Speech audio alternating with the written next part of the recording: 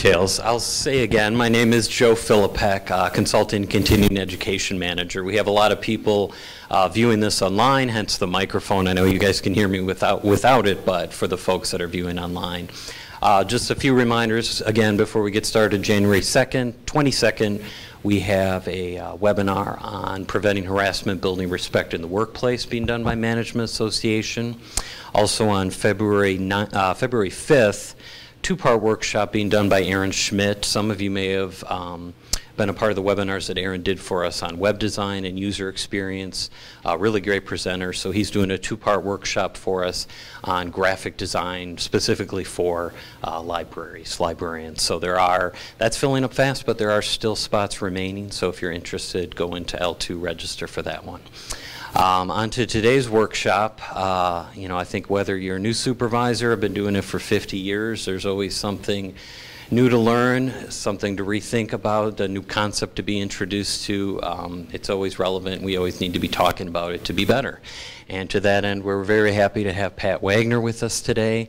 Um, I will let Pat introduce herself in a minute, but I know some of you, uh, Pat has been doing this for a while, has trained a lot in Illinois, um, and I imagine some of you maybe have seen her workshops before, and I think you'll really enjoy it. Uh, we do have a second workshop today at uh, 1.30 on library change, so if you are here, if you're online, we hope that you can stick around for that one as well. And for those that are watching online, I just remind you to uh, use the chat box if, uh, if you want to convey a question or comment, and we'll try to get through those as best we can. Uh, so with that, I think I will turn it over to you, Pat.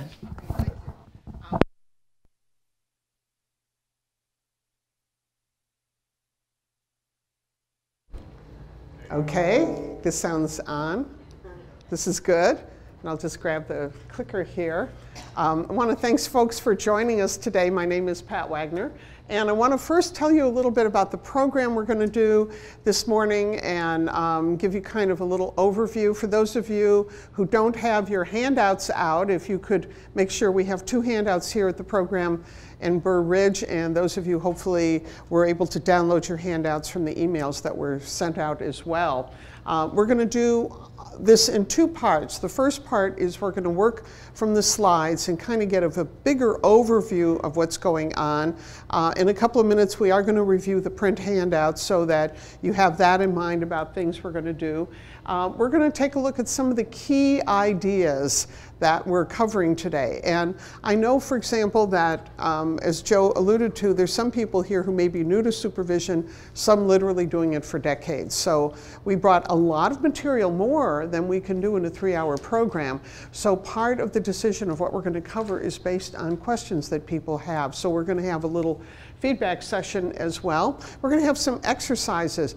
Um, we're not going to do anything goofy. There aren't going to be any role plays. You're not going to be asked to share, anything like that. But what we do like to do is give you a chance to talk to your colleagues, to sit and write and think. And we encourage you to help us with questions and so on. And then we have some resources. I always like to share my favorite books and authors.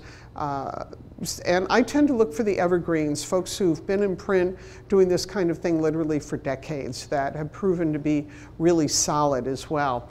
We're going to have breaks um, uh, in one hour and two hours. We're not doing brain surgery, so if you need to take a break, we certainly understand. And when we are doing a formal break, we'll have the break slide up as well. So there, I wanted to give you an idea of what we're going to be thinking about over the next three hours, and then we'll get a little feedback and I'll introduce myself as well. First of all, the main thing always is improving productivity and workplace relationships. And it's both things. You know, some people kind of err on the side it's all about productivity and they sort of forget that people are people, that we're dealing with human beings. On the other side, they're the people who are so attached to the emotional relationships they forget about the productivity issues. And that can be hard, uh, particularly if you're working in a smaller library or a smaller community where people have known each other for decades, uh, relatives, friends, neighbors, people from other workplaces. I had a situation a few years ago with a woman in a rural library and she was having a real problem because one of the people who worked for her was 83 years old and would come in and basically fall asleep all day. and was on the payroll. And we said, you know, you really have to, I, and I used the F word, fire her. And the woman said, Here's the problem, Pat. This lady was my Sunday school teacher when I was growing up, and I'm really afraid if I fire her, I'm going to hell. So we had to have that theological discussion about what it meant to be a supervisor and deal with things. Growing skills and commitment. Some people say, How do you know if someone's a good supervisor? I said, One of the best ways to tell is if you stick somebody with someone who's a great supervisor, you will watch the skill set of that person improve. And again, not just their technical and professional skill set, but there's like a maturity that happens. Um, I tell people that one of the, maybe the best compliment that you'll ever get as a supervisor is when somebody leaves and as they're going out the door, they come into your office and say, I'm a better person for having worked for you.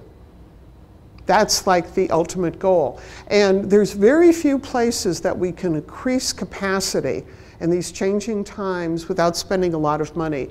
And one of the things we look for great supervisors for is to be able to increase the capacity for people to get along and do the work they need to do. So that is very much a benchmark of great supervision.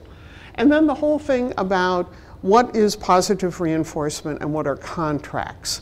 Um, to be honest with you, I think a lot of people kind of flail around when it comes to supervision. Uh, and again, on one hand, they really don't have written expectations so that everybody's on the same page. And I'm not talking necessarily about the job description. Some people work without job descriptions. That's not a big deal to me. But it's sort of like, what's the expectation? Because I know this shocks you, but I've watched people build up resentment, not for years, but for decades, because someone wasn't doing their job well. And then someone like myself comes in to work with the staff and found out everybody assumed the other person knew what they were supposed to be doing and what the expectation was about this. So this is very important. And the other thing which we'll be talking about is positive reinforcement. Um, I'll be suggesting a book, um, and I'll mention the title several times. It's called Don't Shoot the Dog by Karen Pryor. And to me, it's one of the gold standards for understanding positive reinforcement and how to use it. This is not touchy feely, folks. This is the basis of behavioral science about how people are treated. Now, I grew up in an immigrant family on the south side of Chicago, and my parents were old country in some ways, which means you never praise children to their face. That was like 15 years of therapy, I'll tell you, that was the result. So a lot of us use um, the same skills that we used in our, and learned in our families. And I've had people say to me, I don't know why I have to be pleasant to my employees, I pay them on time. I don't know why I have to say please and thank you to my employees, it's just the job they're doing. But there's been enough tests that have convinced me that the absolute best way to work with people is positive reinforcement. But it doesn't have to be that phony kind of um, affirmation thing that, that makes me kind of uh, uh, gag. No, we're not going to do that. But these are sort of the three outcomes for today that, that you feel more comfortable with all these things as well. Let's see here. There we go. So we're going to do a little feedback first and foremost, and I'd like you to think for about a minute or two about what brought you here today. What about the topic brought you here today? And we'll be collecting feedback both from people here at Burr Ridge and also all of our folks out there um, and think about what would be useful. And we'll take a few minutes for that. And part of the reason too is sometimes have people have something very specific on their mind, and it's something I can answer in a minute, or it's something off topic that I might be able to say something about, but I'll say no, we're not going to be dealing with this this day. So, what about supervision? What's something that you're interested in, curious about, hypothetically even, right? And you can always change names and lie. We won't know. And so let's come back in about a minute and we'll see what um, we have. So I'm going to put the little break slide up again.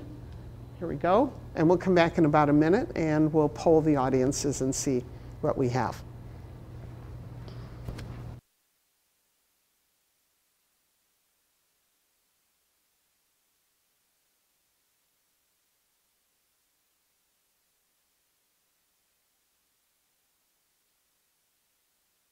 I'll start with the folks here in Burr Ridge. If you have something on your mind today that you'd like to be make it part of the curriculum for the morning, uh, just raise your hand. Let me call on you, and we'll see what we have. Yes, please.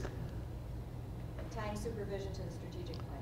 Okay, say again louder, please. Tying supervision to the strategic plan. Tying supervision to the strategic plan. And we're going to talk about this. And this is important because it's all about shared goals.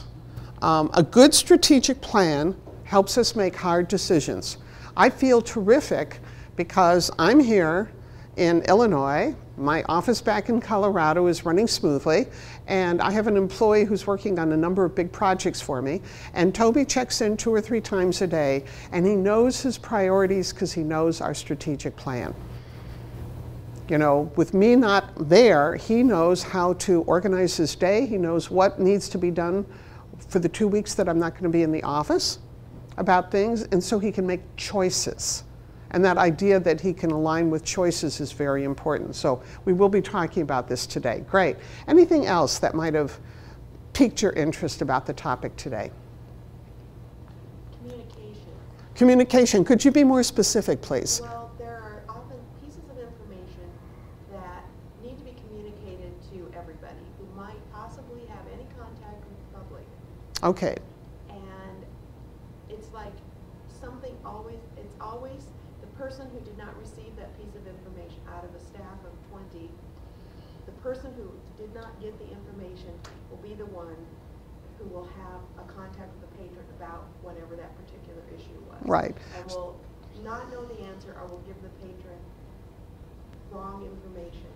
Okay, so there are two things you said which I think are important. One is the issue of communication. We're having to give people a lot of information, and you've got frontline staff who are dealing directly with library users, and it always seems that there's certain people who miss information and they connect. Um, so, so that's the first issue. But the second issue is there a pattern of certain people who over and over again seem to miss the information, or is it throughout the library? Is it pretty generalized? I don't think it's a pattern of an individual person. I think what happens is that the way our library is set up, it's pe- very open. Okay, we don't have much time, so It's a person you would never expect to have contact with because they're not frontline staff. Mm-hmm. They don't work at the, at the circulation desk or at the reference Mm-hmm. desk. They're just passing through on their way. Oh, okay, so it's people, ones who will get Right. stopped and questioned by a patron. okay, let me just say, this is an interesting problem. The problem is you've got all sorts of changes happening in the workplace, and correct me if I'm wrong. And so even though you don't think that that particular person who might be tech services or something will be interacting directly with a library user, they are, at- they are, and they don't, for whatever reason, have the information to give the correct answer. Is that Yes. Okay, very good. So what we're talking about is what to do when we don't know. Which is pretty, it's a pretty simple thing. What to do when we don't know. And let me just tell a, a quick story about this. Um, the Farmington Public Library, Farmington, New Mexico, one of my favorite public libraries in the United States, they actually, uh, it, it's kind of a gritty city, and they have a big parking lot, which becomes a focus for drug dealers and unseemly things. So they have big, burly, armed guards, a lot of them ex military and police there as a presence. The director, Karen McPheeters, has sent all of the guards to introduction to reference.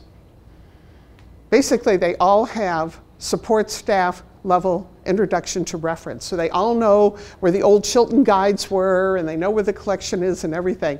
And the last time I was there, it was kind of funny because the guides came up and said, We asked for a special session with you, Pat, because our problem is we're in the middle of doing a reference interview and then we look out the window and say, Excuse me, we have to chase down that drug dealer in the parking lot. And we want a polite way to interrupt the reference interview because our real job is being um, a police officer. And we talked about this. So there's a key, there's a key which I'm going to give you a word to think about as we're going through, which has to do with anticipation. And what that means is we know there's going to be a problem.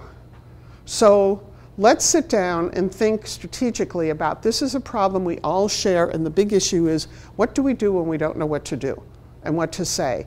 Um, and uh, there's a there's a um, mythology in libraries that everybody's supposed to know everything and that we're all smart and everything. And for some people, it's really painful to look at someone and say, I can find that out for you, or I know who has the answer, rather than making something up or struggling or something like that. So we'll talk more about that. You had your hand up. Um, yes, how do you measure productivity?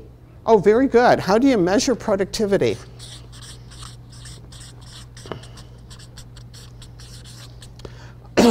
and we'll talk a little bit about that. And I think um, I'll, I'll tell you my general philosophy about this is libraries are understaffed, and very few of the people I work with in libraries have learned kind of the um, issues of productivity and what it's about. So the short answer is you check out the statistics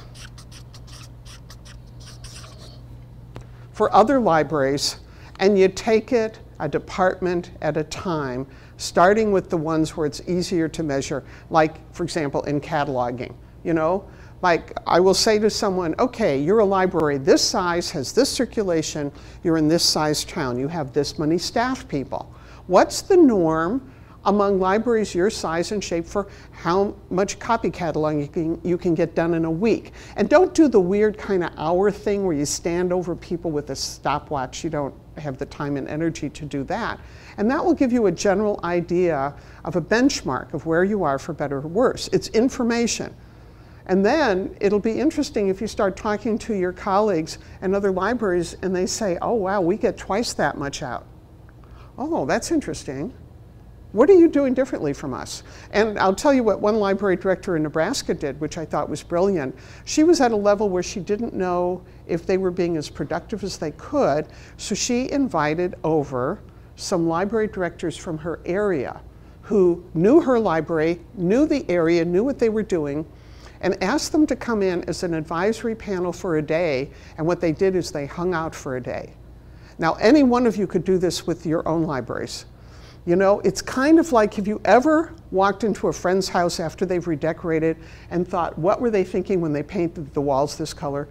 You know, and you're thinking, oh, we could have done so much better. Well, everybody can look over everybody else's shoulder, and it's a cheap, effective way to do it. And you have to have enough of a healthy ego to be able to say, we're going to have our friends come in and they're going to give us advice. We don't know if it's all good advice or not, but isn't it wonderful that we have such a collaborative profession that people can help each other?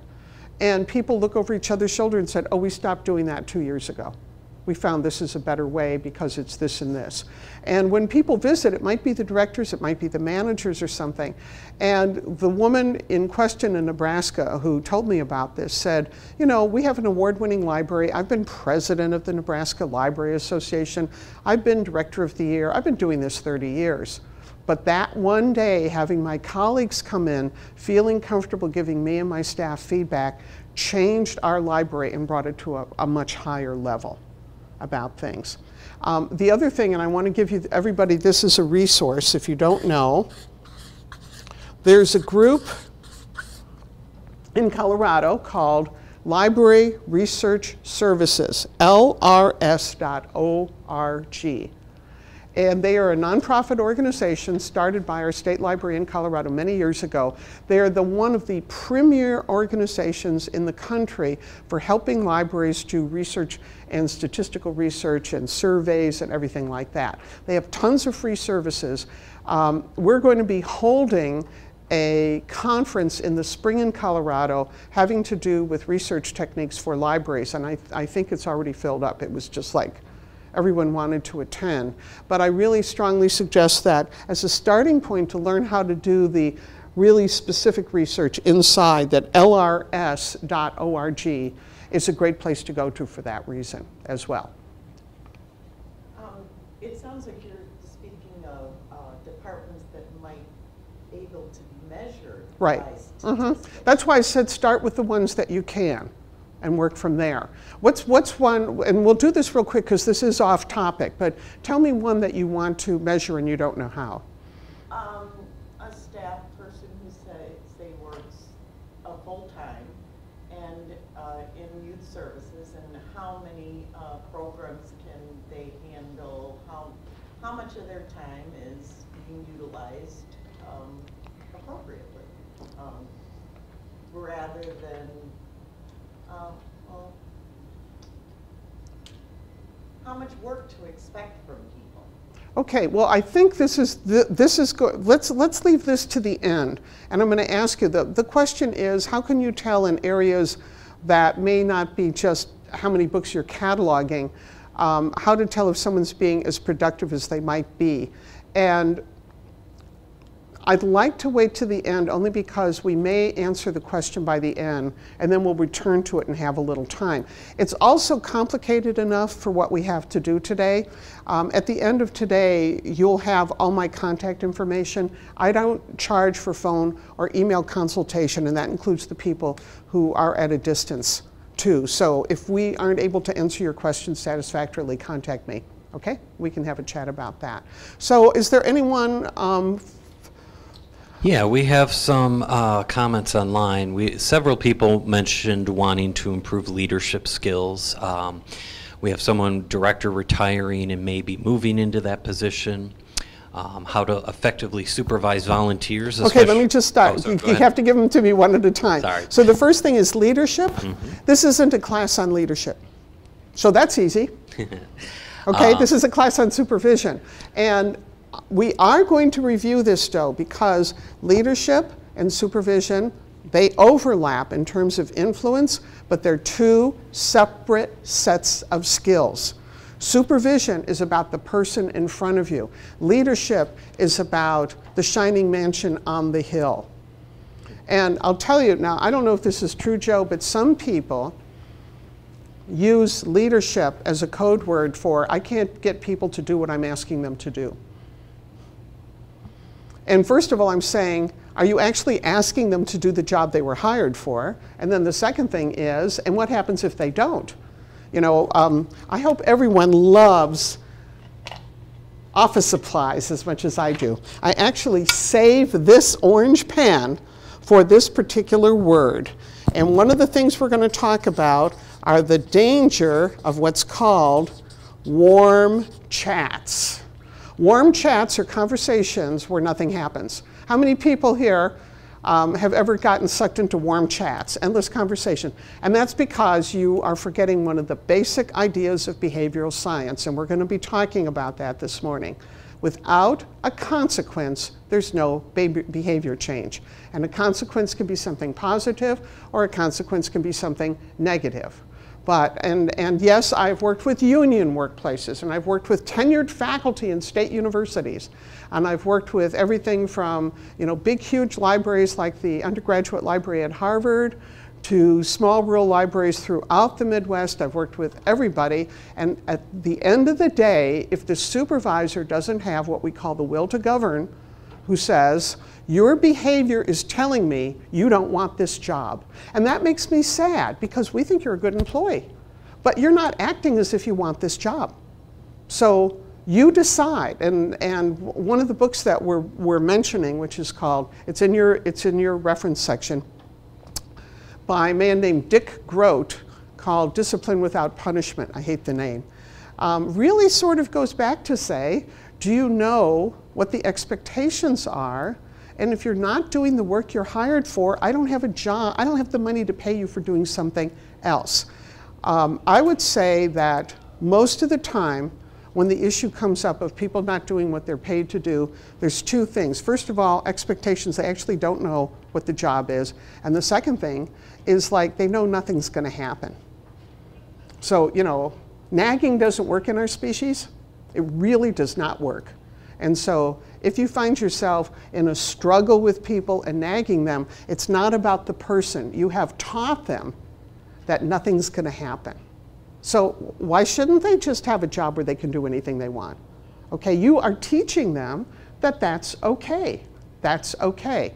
And it doesn't have to be nice versus mean. You can be nice and rational. You can be civil and productive. And yes, I've had to fire people. I had to fire two people last year. And I've had the conversation about this is the job I have for you, and this is what I'm paying you to do. If you're choosing not to do this work, then you're telling me you don't want the job. And more than once, I've said to someone, I'm going to give you the rest of the day off, and I, I have that prerogative since I'm a private sector person. You have the rest of the day off. Come back tomorrow and tell me if you want this job. And you know what? Some people never come back, and some people say, I really want this job. And I said, then here's the requirement. As a reminder, let's go through what it is your job's about. And if you choose, if there's what we call slippage, I can't have this conversation with you once a week. That's a waste of time. So if you start slipping back to your old ways, that's the signal that you've determined not to work here anymore, and I'm sorry, good luck. And you know, the sad thing is there are some people, even if you give them a direct, I don't want to say order, but a direct, this is what your job is, still will think that you're goofing on them, particularly if there's been a history. Um, there was a, a, friend of ours, and I won't mention the library, uh, it, but I will say that in this particular state, this woman, this poor library had the worst director I have ever worked with in 35 years.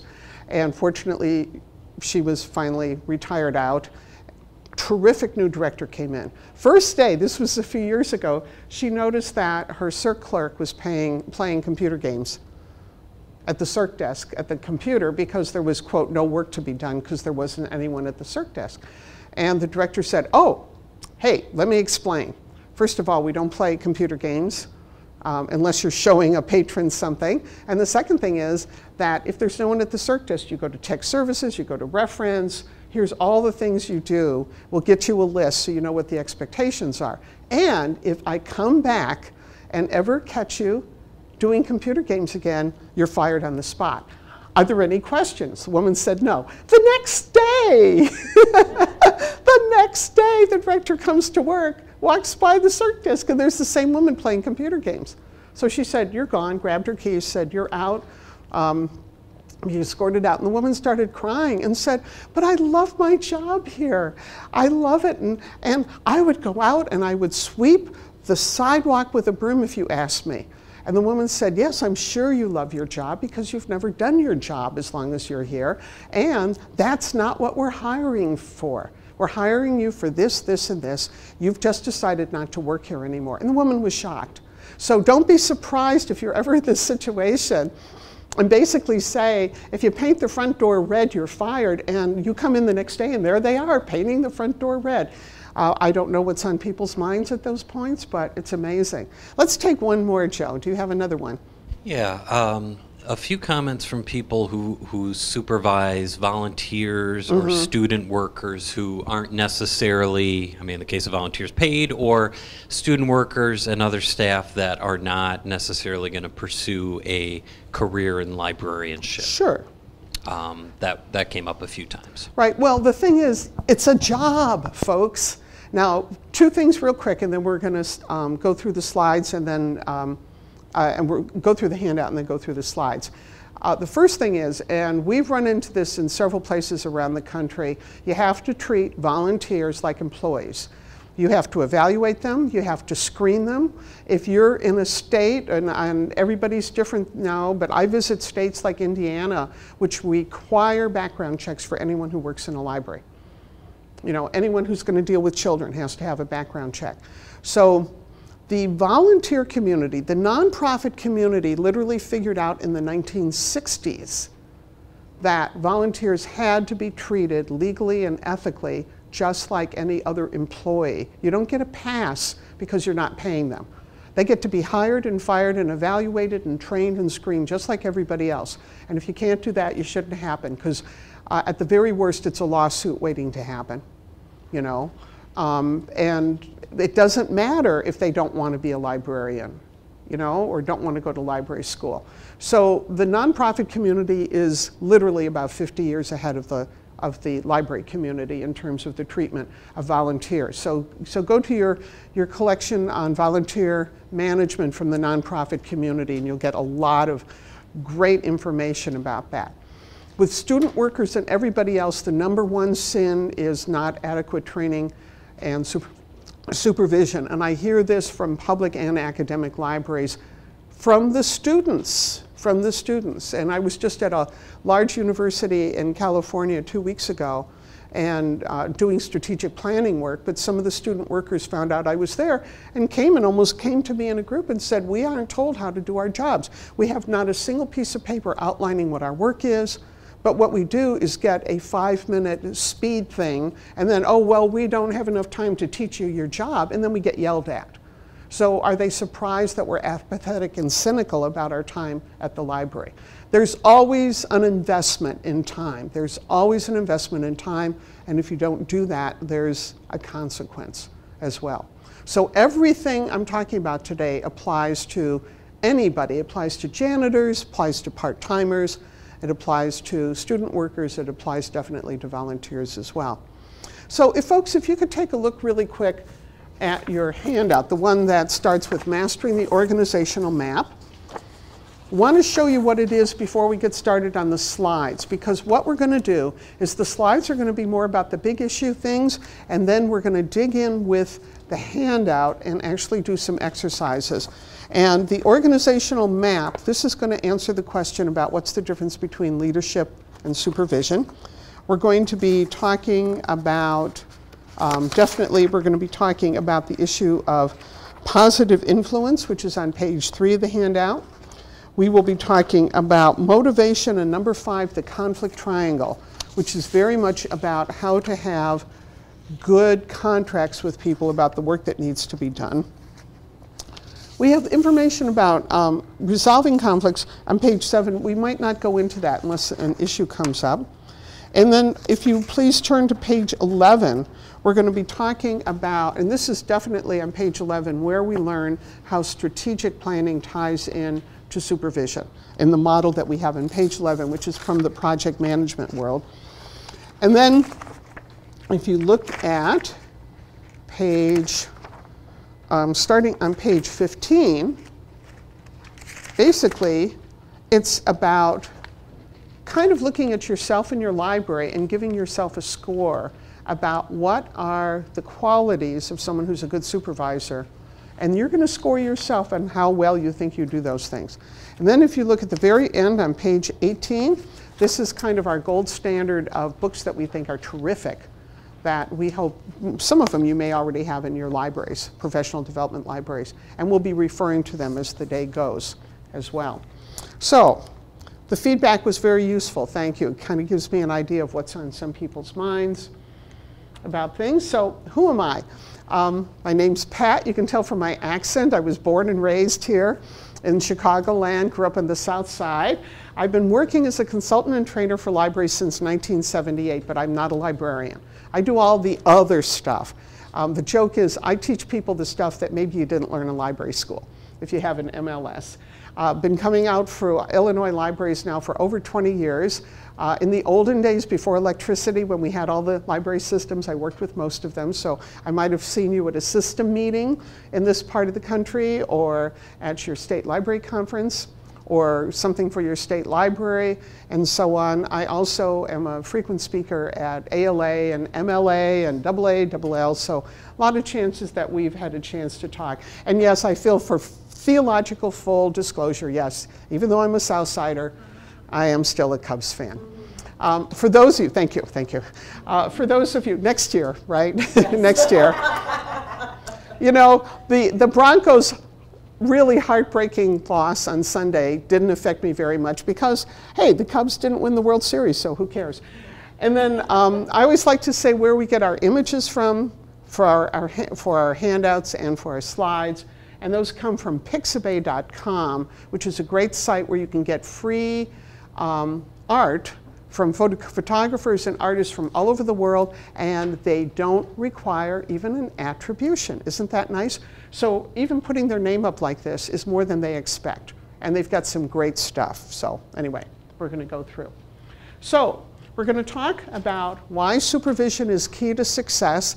And I want to let you know that I feel strongly enough about it that if a client comes to me and says, What's the one thing that you could come in and work with our staff about that would have the most impact on our library? And I'd say, Give me your supervisors. Increasing the ability of supervisors to supervise well is, I know, the absolute best way to improve productivity, capacity, however, influence in a library more than anything else. Uh, we're going to talk a little bit about the writing, the, the contracts and agreements, and give you some simple guidelines, you know, just to kind of get you started. We are going to talk about positive reinforcement and a very simple three part model that works incredibly well. I mean, incredibly well. And it ain't touchy feely. And yes, it works on old coots. How many people have old coots working for them? Anybody here? Yeah, I see some hands. Um, the dangers of conflict avoidance about things. And when we talk about the model about strategic goals and supervision, we'll be talking about the difference between micromanagement and oversight. Because some people don't realize they're micromanaging when they could be doing oversight. So this is the key idea. And the key idea of any program is what I want you to remember above anything else. And the key idea is your success is measured by the success of the people you supervise. And we're going to bring this up again because this is an incredibly hard thing for competent people to understand. That it's not about you being competent in stepping in and saving the day. It's about me being a competent supervisor because I'm 900 miles away from my office and Toby's doing a great job without me and doesn't really need me there to do a terrific job and his skills are improving. That's how we measure success. And it's very painful if you are a very competent person and maybe the people who are currently working for you aren't as competent as you are. And that's where we say that your job is to make them competent. It's not your job to rescue them. It's not your job to fix the little things immediately because that becomes a real dangerous trap. Uh, that's why, to be honest, I know a lot of really smart people who are really, can I say lousy? Lousy supervisors because they step in and save the day over and over and over again and teach their people they don't have to do a good job because their great supervisor is going to do a better job for them. And the person with the terrific pe people skills and supervisory skills are the ones who.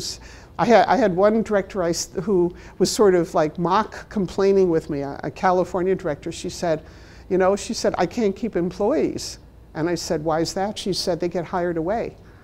And I, she said, um, every time I bring up a good person, they're snatched away. And we were laughing about it. She said, I realize that's part of the problem of being a great supervisor is that people see that you're producing all these terrific people, right, who can then go on to bigger and better careers other places, particularly if you're a small library.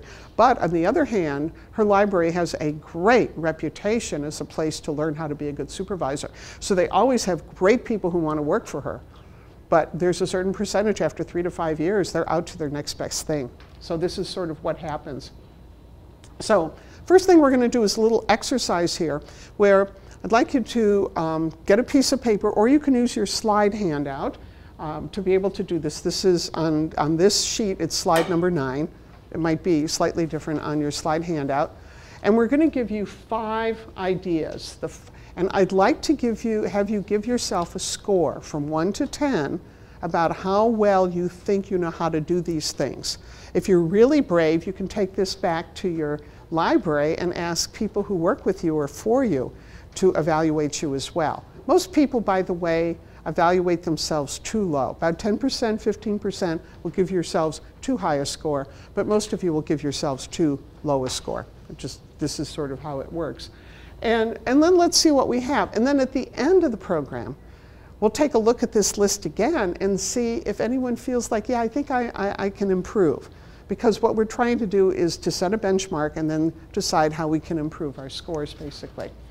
So the five things that we want people to do is first of all, how well are you at what we call practicing the benefit of supervision? Meaning that how much do you model the great behavior of a great supervisor? Great supervisors are great listeners. They're great at communicating the specifics of what they need.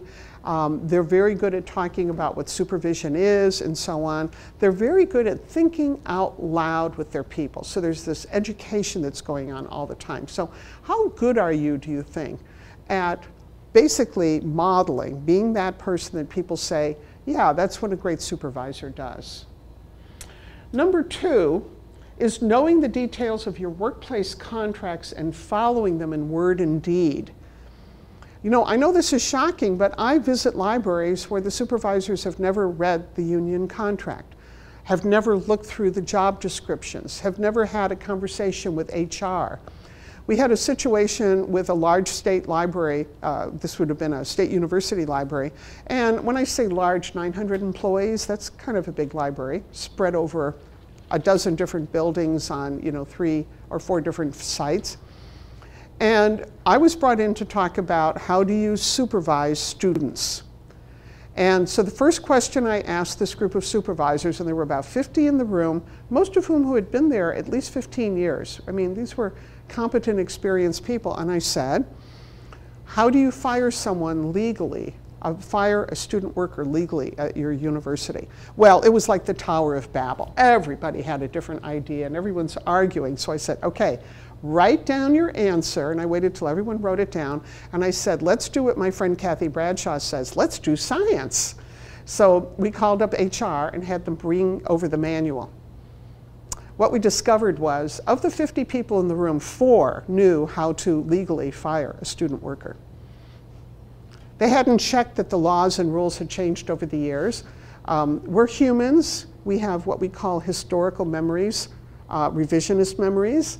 And a lot of people thought they knew, and over the years it had morphed into something else. Only four people in the room had the right answer, right, according to what was legal. And then we found out what they had been doing. And I'll tell you, the, the um, dean was in the room, and he turned as white as a ghost, realizing that people had been doing things unethically and illegally for years, arguing with each other, but no one had ever gone to the document itself. So, how well do you think you know all of the documents involve state personnel rules. You know, I own a little business. I have to know state personnel rules to run my business because, you know, things like workman's compensation, unemployment insurance, I have to know all of that stuff. Not in terrible detail, but well enough so I can have a conversation with our lawyer and our accountant about it. Um, how many say, uh, I'm really good at using positive reinforcement? I'm, use, I'm very good at um, concise sincere, frequent praise, touching base kind of praise, you know. And this, by the way, is one of the places where you tie what people are doing to the strategic plan. Like our, our big goal in 2015 is all about marketing. So Toby's doing some great work now. He's, he's uh, doing a bunch of coding on our website, kind of a version 2.0. And when he sends me a note and says, this is something I'm working on and accomplishing um, about stuff. I, I sent him a sentence. I said, This is terrific because this will be allowing us to reach these people. Thank you. So while he's sitting there in his little room, cubbyhole, coding, he's thinking about this is helping us reach customers, which is part of the marketing plan. So he's got that connection with what we're doing. He doesn't get lost in the details. So, how well are you at using positive reinforcement? How, are, how good are you at dealing with unhealthy conflict? Healthy conflict is when you have two good employees come up and say, we don't know whether or not to paint the front door red or blue, and we've been fighting about it for two days, so would you flip a coin so we can go back to work? Right? That's healthy conflict. Or someone says, I'm really upset about the new um, ILS that we're um, migrating to because I've talked to some friends at some other libraries and they say they're having real problems. And I just, for the record, want to give you a list of what those problems and hope that we have vetted it. That's healthy conflict. Unhealthy conflict is I don't like the look on Pat's face, right? Or unhealthy conflict is 23 years ago, right? You took my parking space and I have not been able to move on, right? You know, I mean, all that stuff. I won't say bad words, but you know. So, how well are you as a supervisor at dealing with that unhealthy conflict and basically getting people back to work and being civil with each other? They don't have to be their new best friend. I'm one of those people when people say their library is just like a family, it's like a sick horror grabs my heart because I think, you know, most families are dysfunctional. So what that's telling me, you're bringing all like of the wacko, dysfunctional, crazed, sick things you did in your family to how you deal with other people in the workplace. No, we're going to be adults. We're going to. It's that joke about some. There's uh, someone in the room needs to be the adult. Why not volunteer? So I want volunteer adults. And I've had some employees who have come from horrifying family settings. And they get it that that was then, this is now, and we do things differently here. We do things differently. You say good morning whether or not you feel like it. You're pleasant to people, right? Um, there's no hidden agendas and stuff. Uh, and by the way, I know this is not always in your control, but our office, we hire for emotional maturity first. I'm going to say something and I hope nobody's offended. I grew up in a medical family. Libraries are not the emergency room of Children's Hospital. They are not nuclear power plants. It's just a library.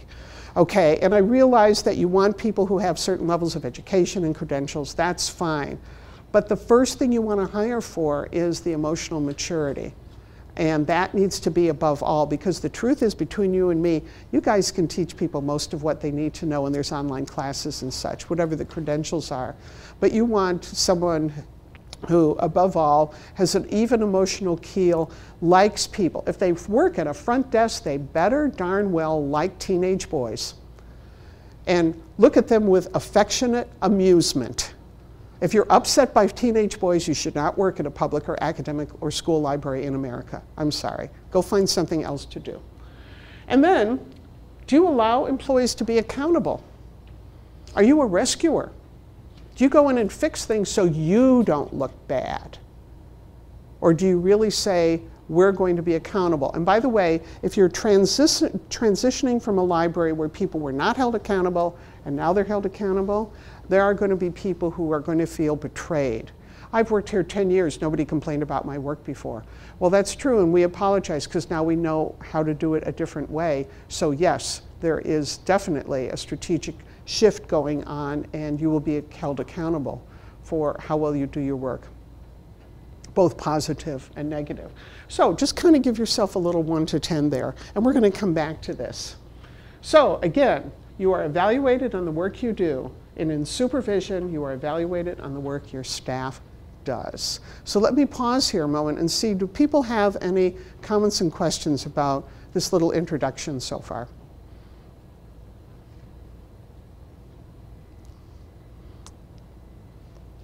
To check. And anything that comes in at the last minute, we'll, we'll pick up at the beginning of the, the second hour. Okay? All right. Now, here's some myths I'd like you to take a look at the myths on this slide um, that range from smart and educated people don't need supervision down to to need supervision is the same as failing. And see if you can pick out one from this list that either you've heard or you're curious about, you'd like a little bit more information about, it puzzles you, or you've run into before. So take a look at the list, and uh, they're on your slide handout as well.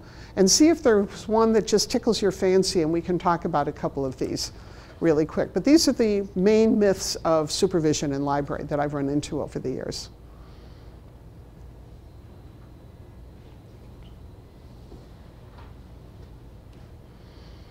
Anyone see one that's familiar? If you do, raise your hand and let me call on you. Yes, please. Supervision comes naturally to most people. Yeah, supervision comes naturally to most people. That's a lie. Supervision is usually counterintuitive because the way you were raised to do things does not necessarily translate into a workplace.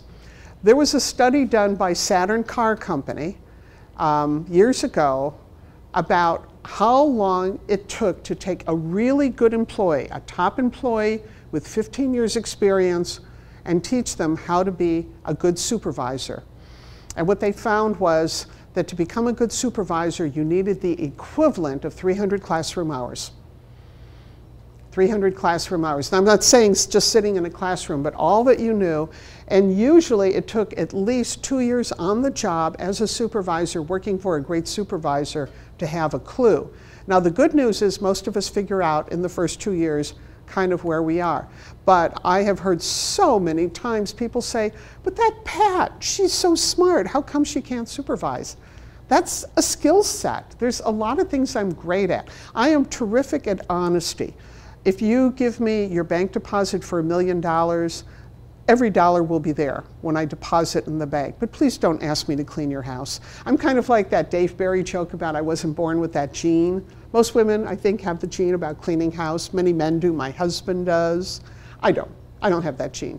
So there's a lot of great people out there. They don't have that gene. So don't be surprised if you promote someone to supervisor at your library and you think they're great at their technical and professional skills, but they don't make it as a supervisor. So it takes constant training. And my mentors, one of my mentors in supervision is a gentleman who's in his 90s now, whose career was as a Methodist minister.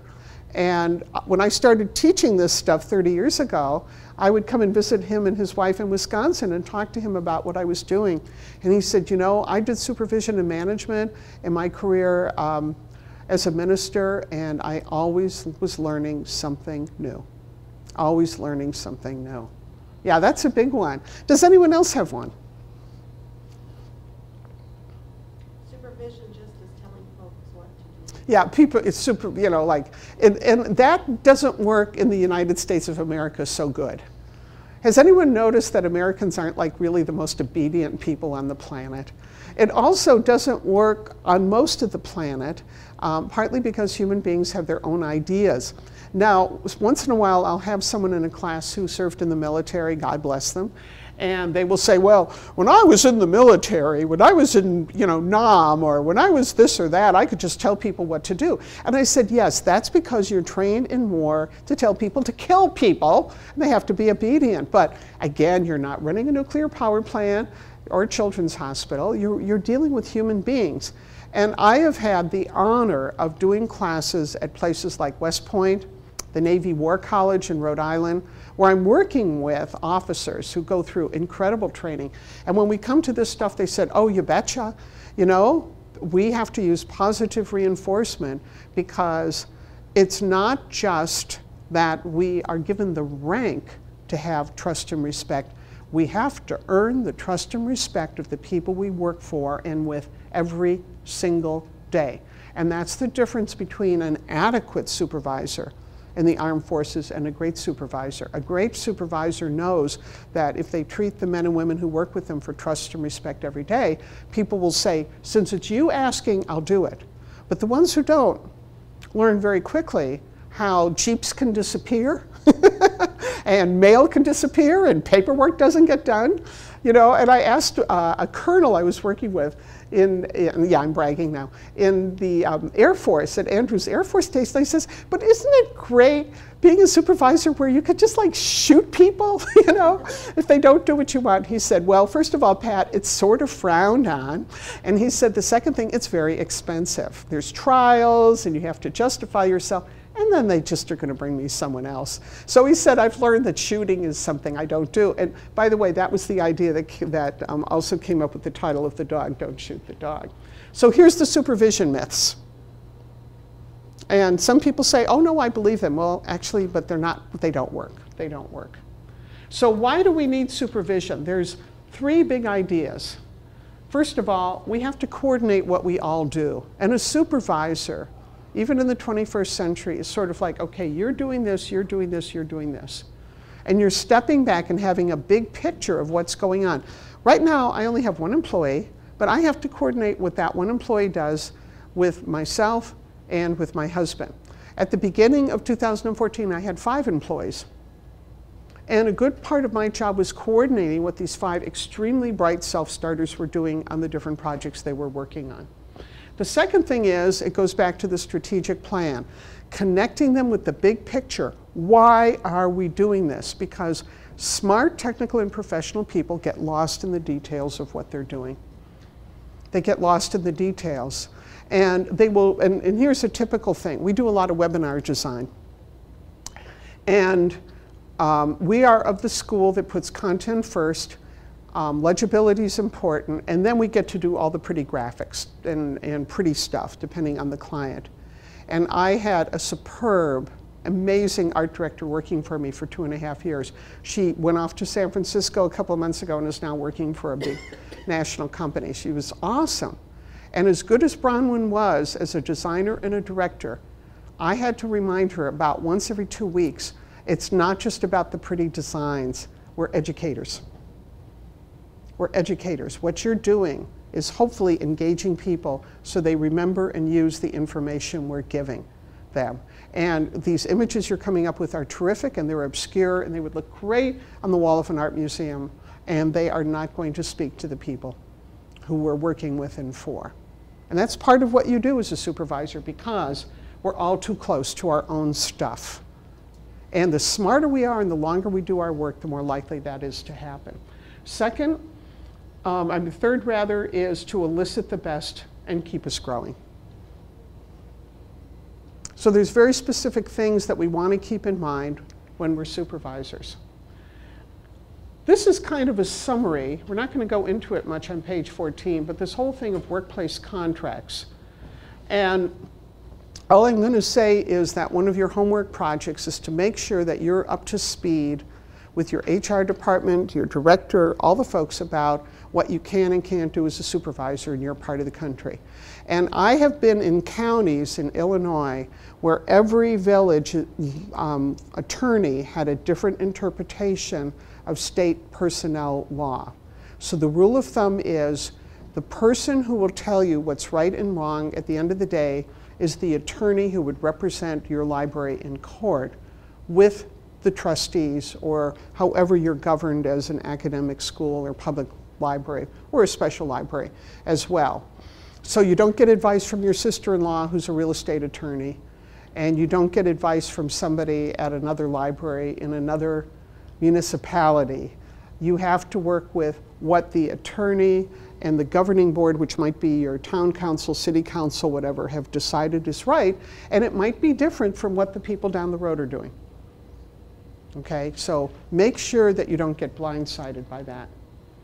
So what I'm going to do before we take our first break, I'd like to go over these things about what's in a contract and agreement, and then when we come back, we're going to finish up the slides and go through some of the other information. So if you're either here or at a distance, if you want to take a look when we come back from about a five minute break, we'll collect what other questions we have so far and then plunge into the more material.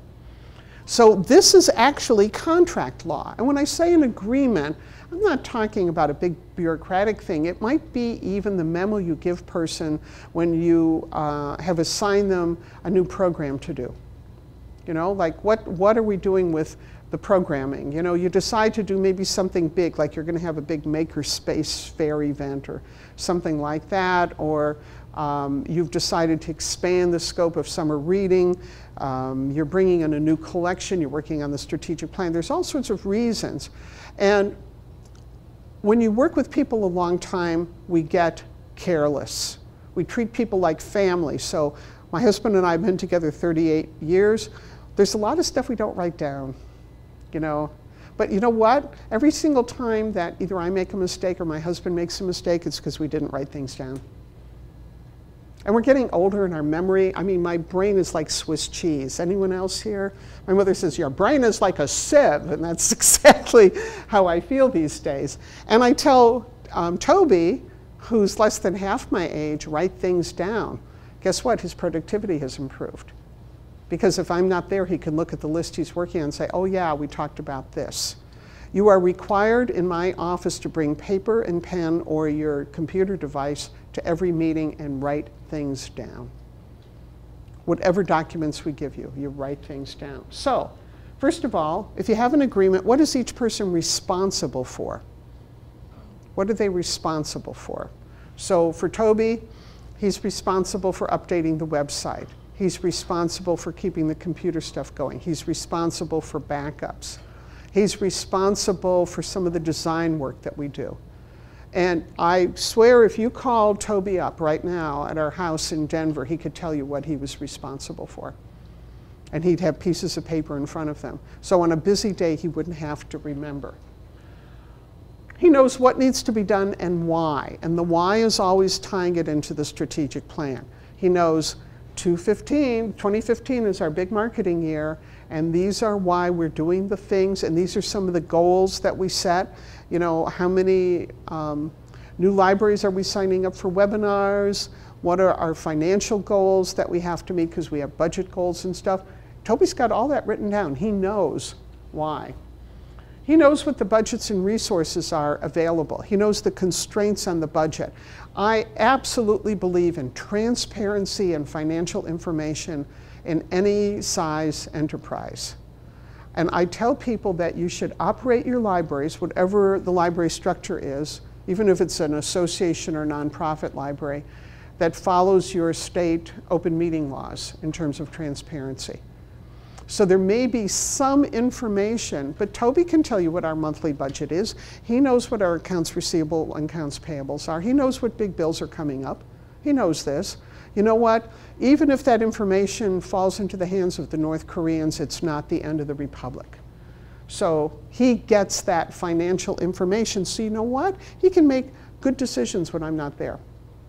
And when he goes to my husband and asks for a check about something, we know kind of like what the budget is for a project, and we'll mention it like, you know, keep it under so much. And he's allowed to make certain purchases without checking in with us if it's below a certain amount. And if it's above a certain amount, he checks in with my husband and myself, and we talk about it and we make the decision. Deadlines. He knows all the deadlines. He knows when something has to happen. He also knows what the priorities are. This is more important than this, this is more important than this. And I'm talking about a 35 year old high school dropout, guys. I'm not talking about someone with, a, with a, a master's degree in library science or a PhD. He's an extremely bright, personable guy, and one of the reasons we hired him is he loves to learn. He's voracious, hungry to learn new things, and he's got a terrific personality. And he worked in sales and customer service for two big companies. And maybe some of you will actually even meet him someday, you know, online or something. He's terrific. He's terrific at what he does. He knows the consequences, positive and negative. He knows what we have to watch out for about things, and he knows what's really, really important whether or not it's 100% rational. And notice what is missing though the how. For most of what we, he does, we don't tell him how to do his job. We tell him the goals, what needs to be done. But as he grows in his skill set, how he does it is up to him. So we check in about every two or three hours, like, how's it going? But he tells me how he solves problems. He tells me what he needs. Sometimes he says, I'd like to get this book because it'll help me on this thing. We look at it and say, yeah, great.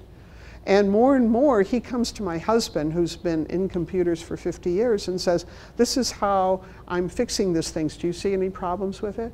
99 times out of 100, we say no about things. So this is what's in the agreement. But notice, it's not about how he does his job. So when we come back, again, we're going to finish the slides. We're going to take a five-minute energy break and, and such. It's, it's warm in this room here, and there's, I've used up most of the oxygen. So I'm going to go back to the break slide that we had before. And we'll see what people come up with, and we'll check in with you in five minutes. Very good.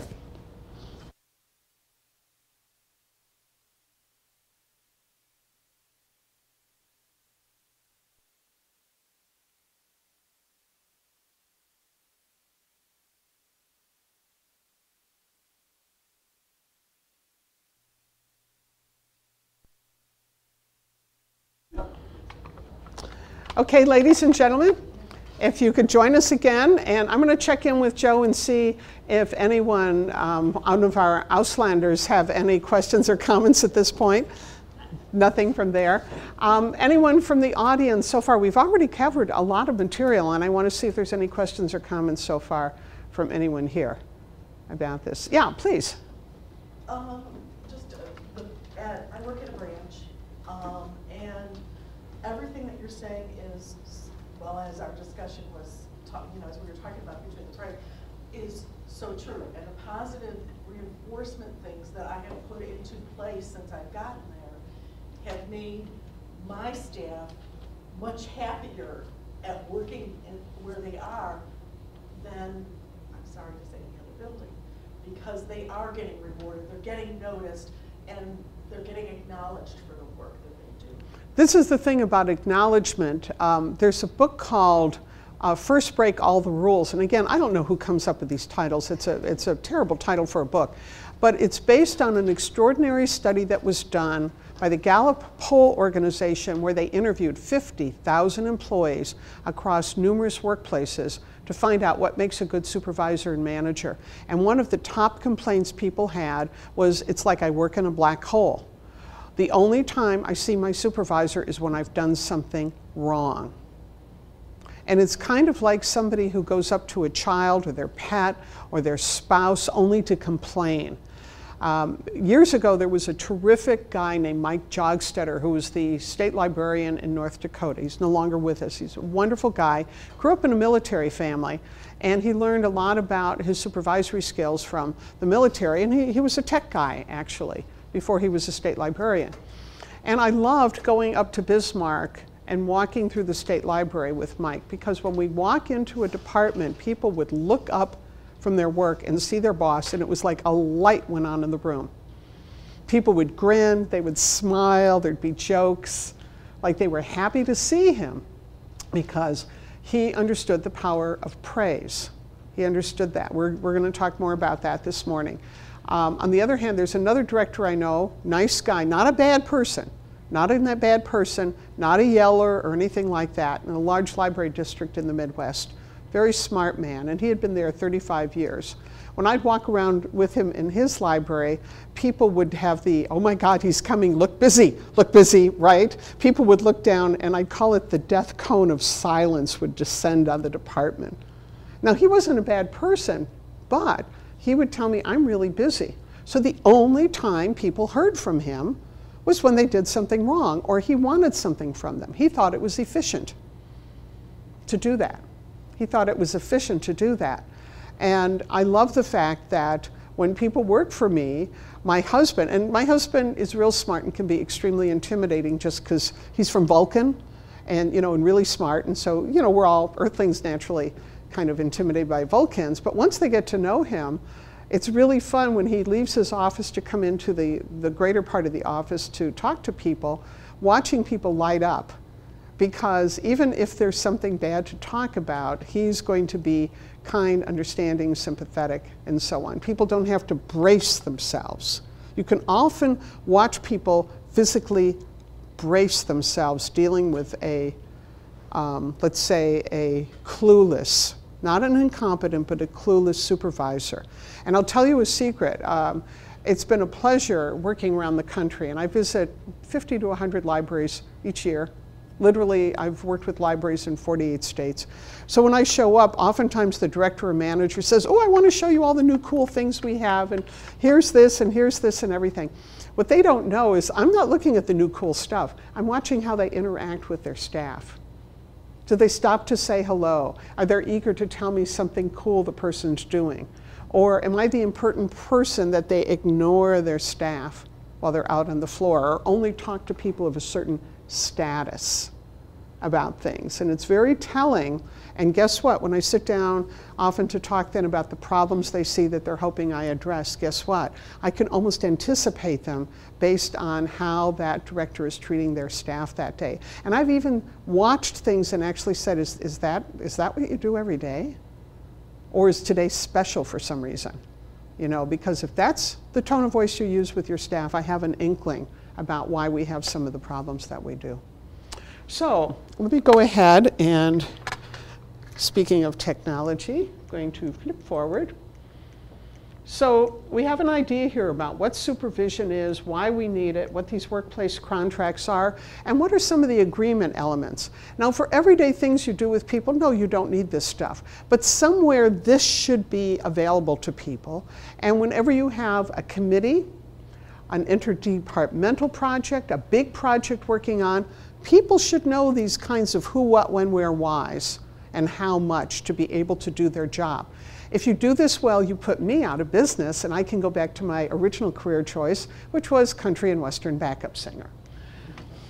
Now, we're going to talk a little bit about positive reinforcement, and then we're going to be going to the handout later this morning so we can play a little bit with this. But it's based on behavioral psychology. behavioral psychology, the main idea is cause and effect. That you do something and something happens. And so, as we've said before, it's about consequences. And most of the consequences people should experience is something positive. And when we say a negative consequence, we mean something that is meaningful and significant to someone. And everybody has different consequences. So we're not going to just do a cookie cutter kind of thing. It must be fair and equitable. And this, folks, is where it gets tough because there are some people in the world we're going to like better than others. There are some people in the world we are going to feel more comfortable with us ourselves. There was a study done reported a few years ago by the BBC, and it was about the likability factor in people's faces. Now, this is what they did. I thought it was so cool. They sat people down at computers, and in front of them were two faces, and they had to pick which one they liked the best, which looked more likable. Then they put up two more faces, two more, and they kept doing it. But what they weren't telling people is there was a camera in the computer who was taking an actual picture of the person sitting at the desk, at the, at the computer screen, and taking their features and starting to morph their features into one of the people they were looking at. So as you went on through the program, one of the photos looked more and more like you, right? Guess what? Guess which face people found more likable? The one that looked more like the person sitting, I mean, themselves. It's things, you know? Now, this becomes a problem I'm a middle aged, middle class, white, college educated woman. I can walk into most libraries in America and get better service than a 14 year old Hispanic boy because I tend to look not just in terms of ethnicity, but age and everything like the person on the other side of the counter. I know the vocabulary of libraries. I can say authority control without like just laughing hysterically. So, you know, it's like I, I smell like one of them. I smell like one of you. People think, I mean, I go to libraries and people think I'm a reference librarian and they'll stop me for help and I say, sure, let's find the encyclopedias together. So yes, I have, I have broken the federal statute of impersonating a reference librarian without a master's degree. Yes, I have done that. So favoritism becomes something that's very difficult, particularly if you have terrific productive employees who you genuinely like better than others. And this is where training comes in and oversight on your work as a supervisor. Take favoritism complaints seriously because they're often based on nonverbal signals that you're sending people that you don't even know. It needs to be appropriate for the action. And the downside, as we know, of positive reinforcement is great inflation, right? Oh, you're so wonderful because you wore clothes today at work. Okay, there's some things, come on, about stuff. So let's just not be perky about stuff, but be reasonable. You know, Toby gets very specific reinforcement about what he's doing based on actual accomplishment. Actual accomplishment. He doesn't get, oh, thank you for showing up because you're wonderful. But I do tell him that I appreciate the fact that he takes the bus to work and most of the time he's on time. And I know it takes some extra effort to do it because we have a terrible bus system in Denver. I mean, it's terrible about things. It must be sincere. If you don't mean it, don't say it. And if you don't like our species, don't be a supervisor. It's just like if you don't like children, don't become a teacher or a children's librarian. And if you work in a public library and you don't like children, don't work in a public library. Okay? I mean, really, this, this, this is ridiculous. And, and I'm saying this because I've actually been brought into situations where I have a children's librarian who doesn't like children, and I'm like, oh, just fire her. You know, save your money. You don't even have to bring me out. And if you're talking about motivation, it's really about human beings. And this is where we want to be smart about the interpersonal skills. I heard a great thing from a library director a couple years ago. She said, a supervisor should know their staff well enough to get them the appropriately themed birthday card. Right? So we, when we've had like large staff and people, it's always fun. Like people will get my husband something usually that's music themed or football themed, or he's from Texas, something with Texas, or something with books with me. It'll be cats or gardening or cooking with um, Toby, our employee, it'll be something like he's a martial arts guy. It's kind of fun having an employee who could kill you, you know, like with his finger. And he's about this tall, and he's having, I'm, I'm missing some of the drama, but he came a little beaten up to work this week because he was in a sparring, a Brazilian Jiu-Jitsu sparring match, which I thought was kind of, you know, sort of fun. So, um, but we also know he loves photography. Now, remember, these aren't like intimate details of someone's life. This is just the everyday thing of what someone cares about. That's kind of the level of intimacy we're talking about with a supervisor. You should know enough about the person that they say, wow, that card tells me that you actually have been listening and paying attention to what's important to me. That's pretty cool. So we want to not have a cookie cutter approach to stuff. And that means, again, the interpersonal skills are important. You need to hire people and promote people to supervision who have empathy for other human beings, who can see, hear, and understand the world from the other person's point of view. That's the interpersonal skill part of what we're talking about with supervision. Now, there are some workplaces that everybody's a Vulcan. Um, my husband's a high tech guy.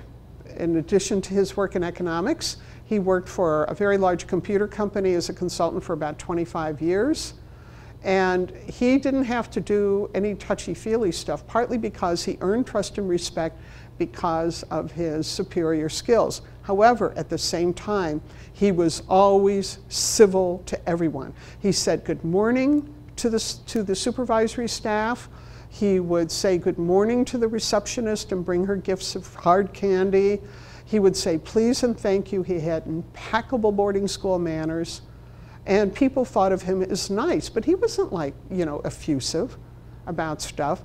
I had a lady a couple of years ago, um, a library manager, come up to me at an ALA, and we were doing something like this. And at break, she said, Well, she said, I have a young man, and I'm exaggerating now. She said, I have a young man who works for me, and this was in California. And she said, He's so rude to me. And I said, How is he rude? She said, Well, when he comes by my desk in the morning, he goes, Yo, mama, looking good. And I said, I think you need to get out more because he's actually complimenting you. And from his world, as a 19 year old hipster, that's a compliment. I'd be terribly flattered if a 19 year old boy walked by and went, Yo, mama, looking good. You know, so we always have people who come from different cultures, ages, backgrounds in the workplace, and they have different ways of doing things. So we got to loosen up a little bit about this stuff as well. So we will be coming back and doing some exercises in a few minutes related to positive reinforcement. But here's the formula. This is the secret formula. This is a summary of the book called Don't Shoot the Dog. And um, we will take a couple of these ideas right away um, and do a little exercise as a group with them as well. First of all, and this is interesting, you want to catch people when they're doing something right, when you're doing positive reinforcement.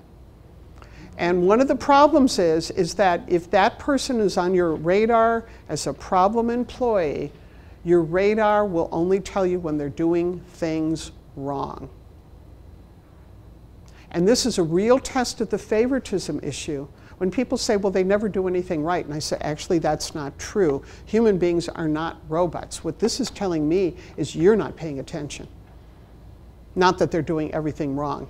You, as the supervisor, are not paying attention. This is like basic, you know, human animal training 101 about things. And, and by the way, it's a really interesting self check if any of you also supervise supervisors. You want to listen to people who come and complain to you all the time about an employee. Um, some of you may know the Yiddish word kvetch, which means complaining for personal entertainment. So if you have kvetchers on the staff who just want to complain about someone, a great way to stop them is say, great, now tell me three things good about this employee.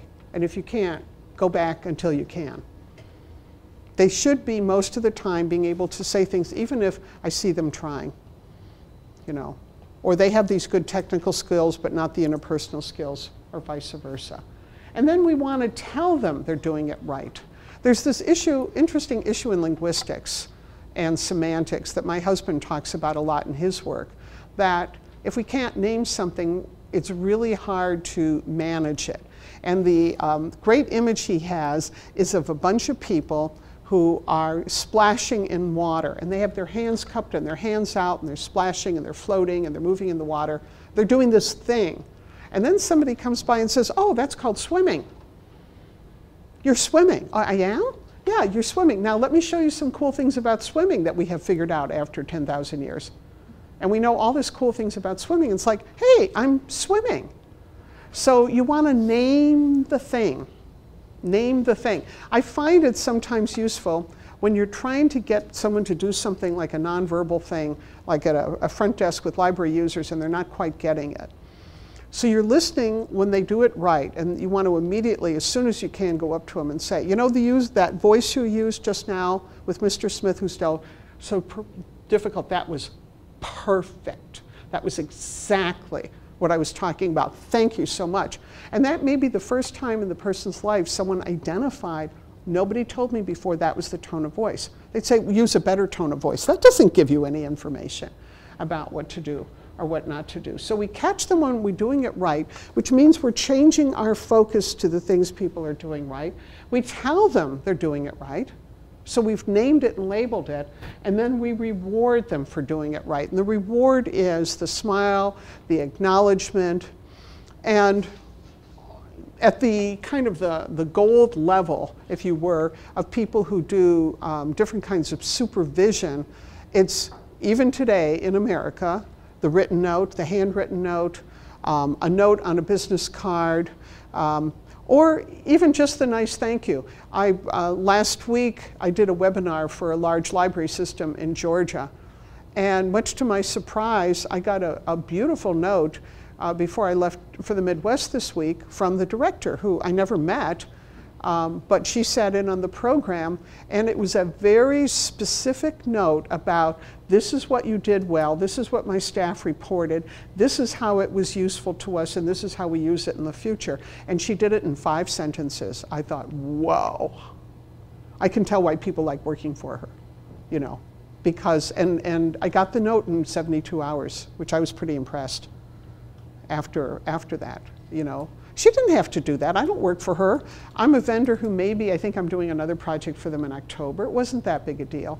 But boy, I remembered it. And put it this way she's now in my pantheon of systems I can recommend to people to work for. If you get to work for that lady, you know, go for it. There are some places in America that I really believe the best thing for the library if they fire everyone, burn the place down, salt the earth, and try again in five years.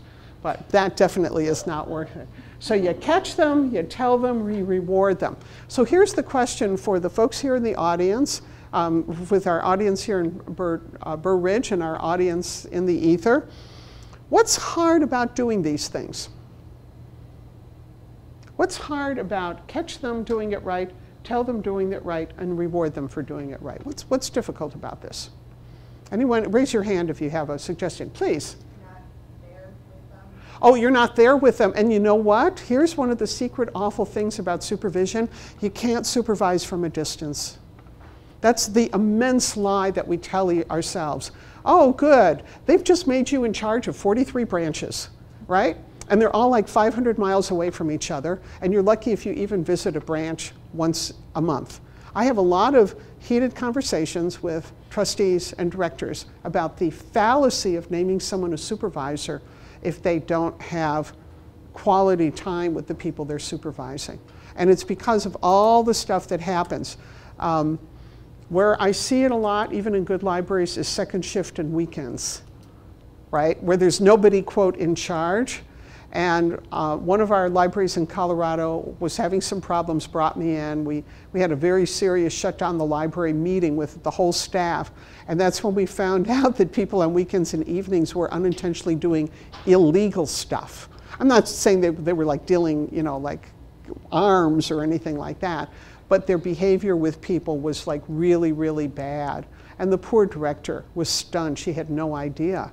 And I said, it is a false economy to think that you should not have somebody supervising about stuff. So that's, that's an issue I deal with a lot. And I know it's a money issue, but there's a thing about um, false capacity that aren't we proud that we figured out a way to save money so people don't have to be supervised a lot?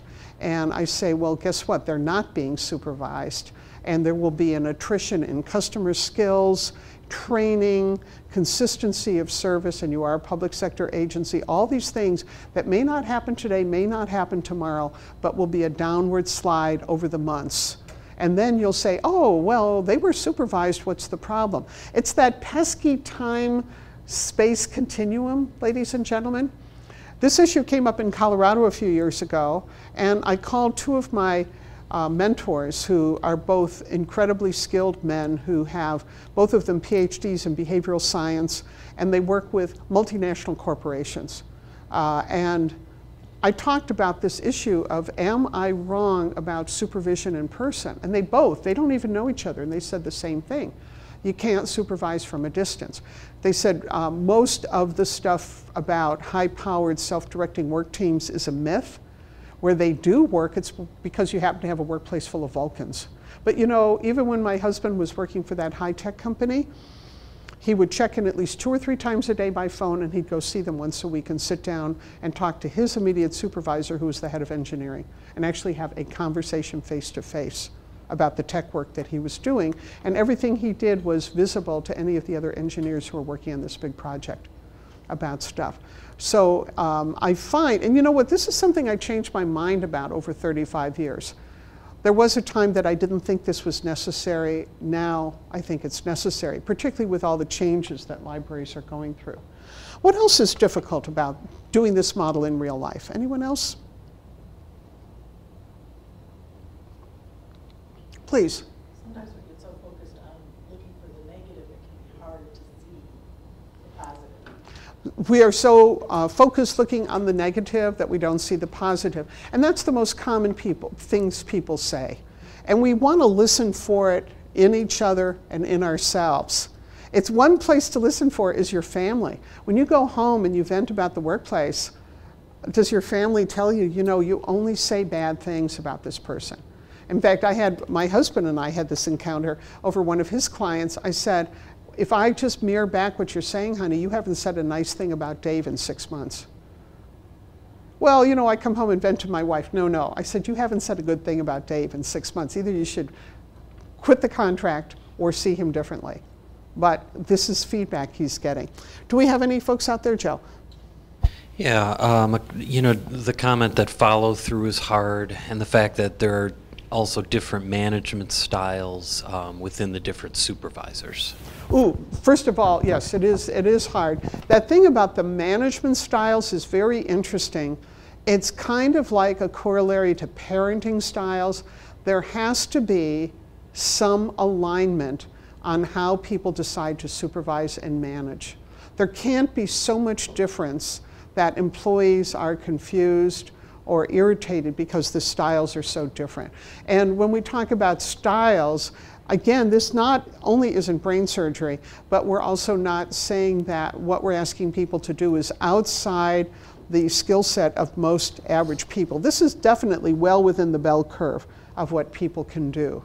And so if there's a quote big difference in management styles, that actually is a red flag for me. That the managers aren't talking to each other, that the supervisors aren't talking to each other. Um, and you particularly see it when people are bouncing around from department to department, if they're floating, not just between departments, but between branches as well. There's an efficiency issue here. If every branch runs so differently, it can't just be a personality cult.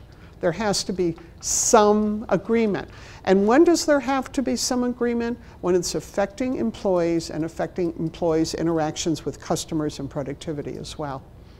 Very good, very good.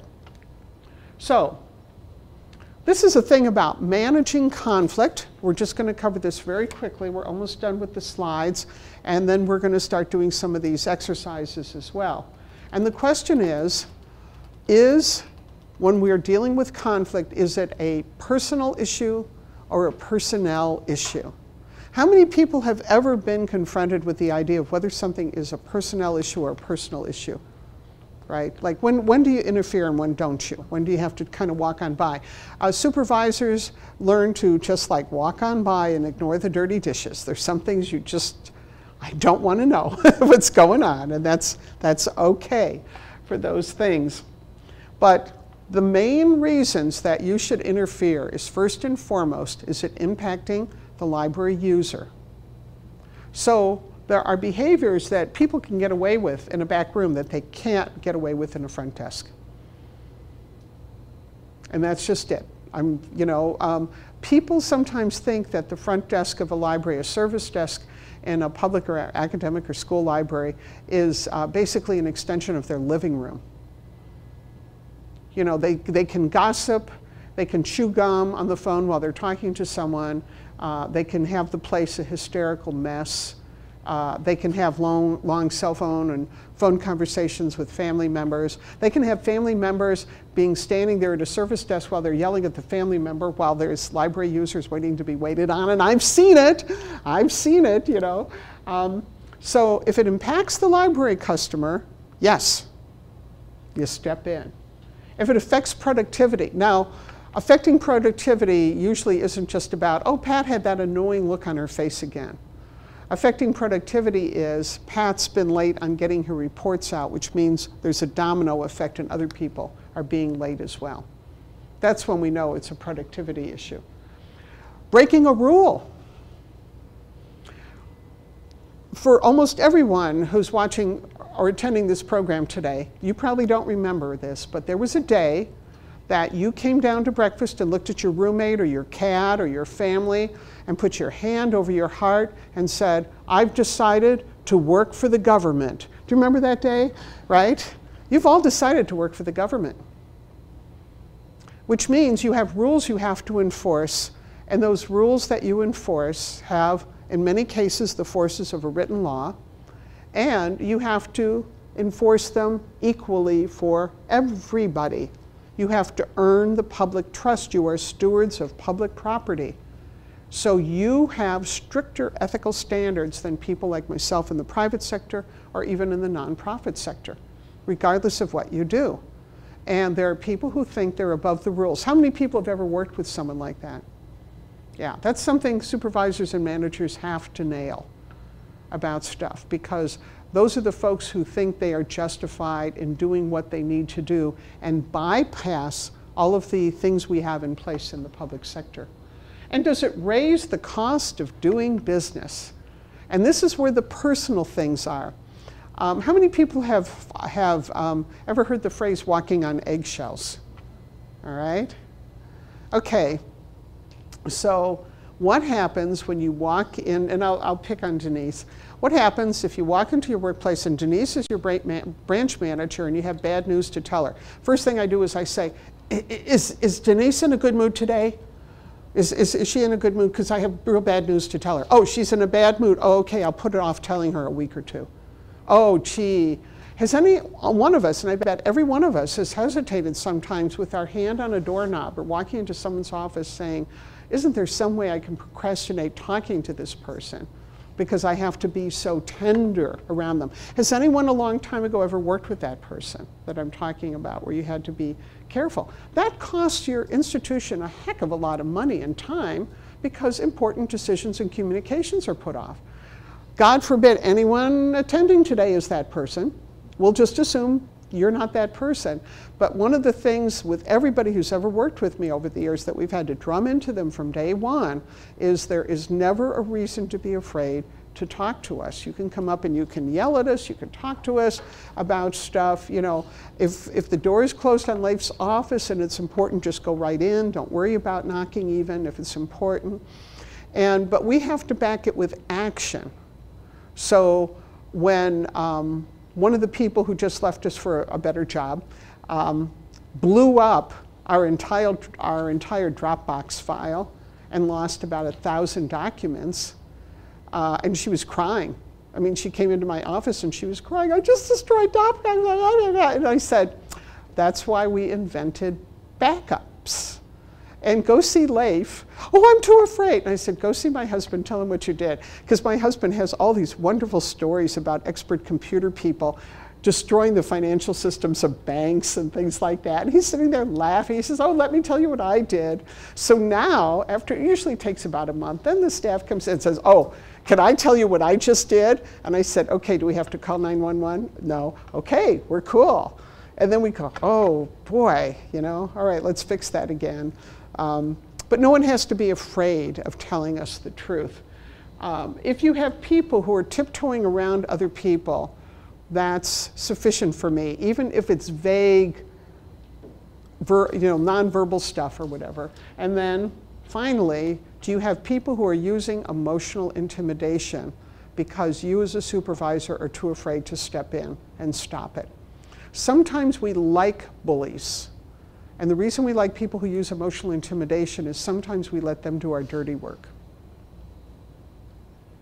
And there's some people out there, I, I have some friends who work in Hollywood, and they tell us that there's some people out there who are beloved public celebrities who are really awful people because they are the wonderful, sweet public celebrity, but it's their business manager who does the cruel firing and who's nasty to people and yells at them and stuff. I've seen the same thing in libraries. The beloved director with the heart of gold, but it's their head of branches who's the person who everyone hates and abhors. So we want to make sure that our not doing our good supervisory thing is not creating a field for bullies running the workplace as effect.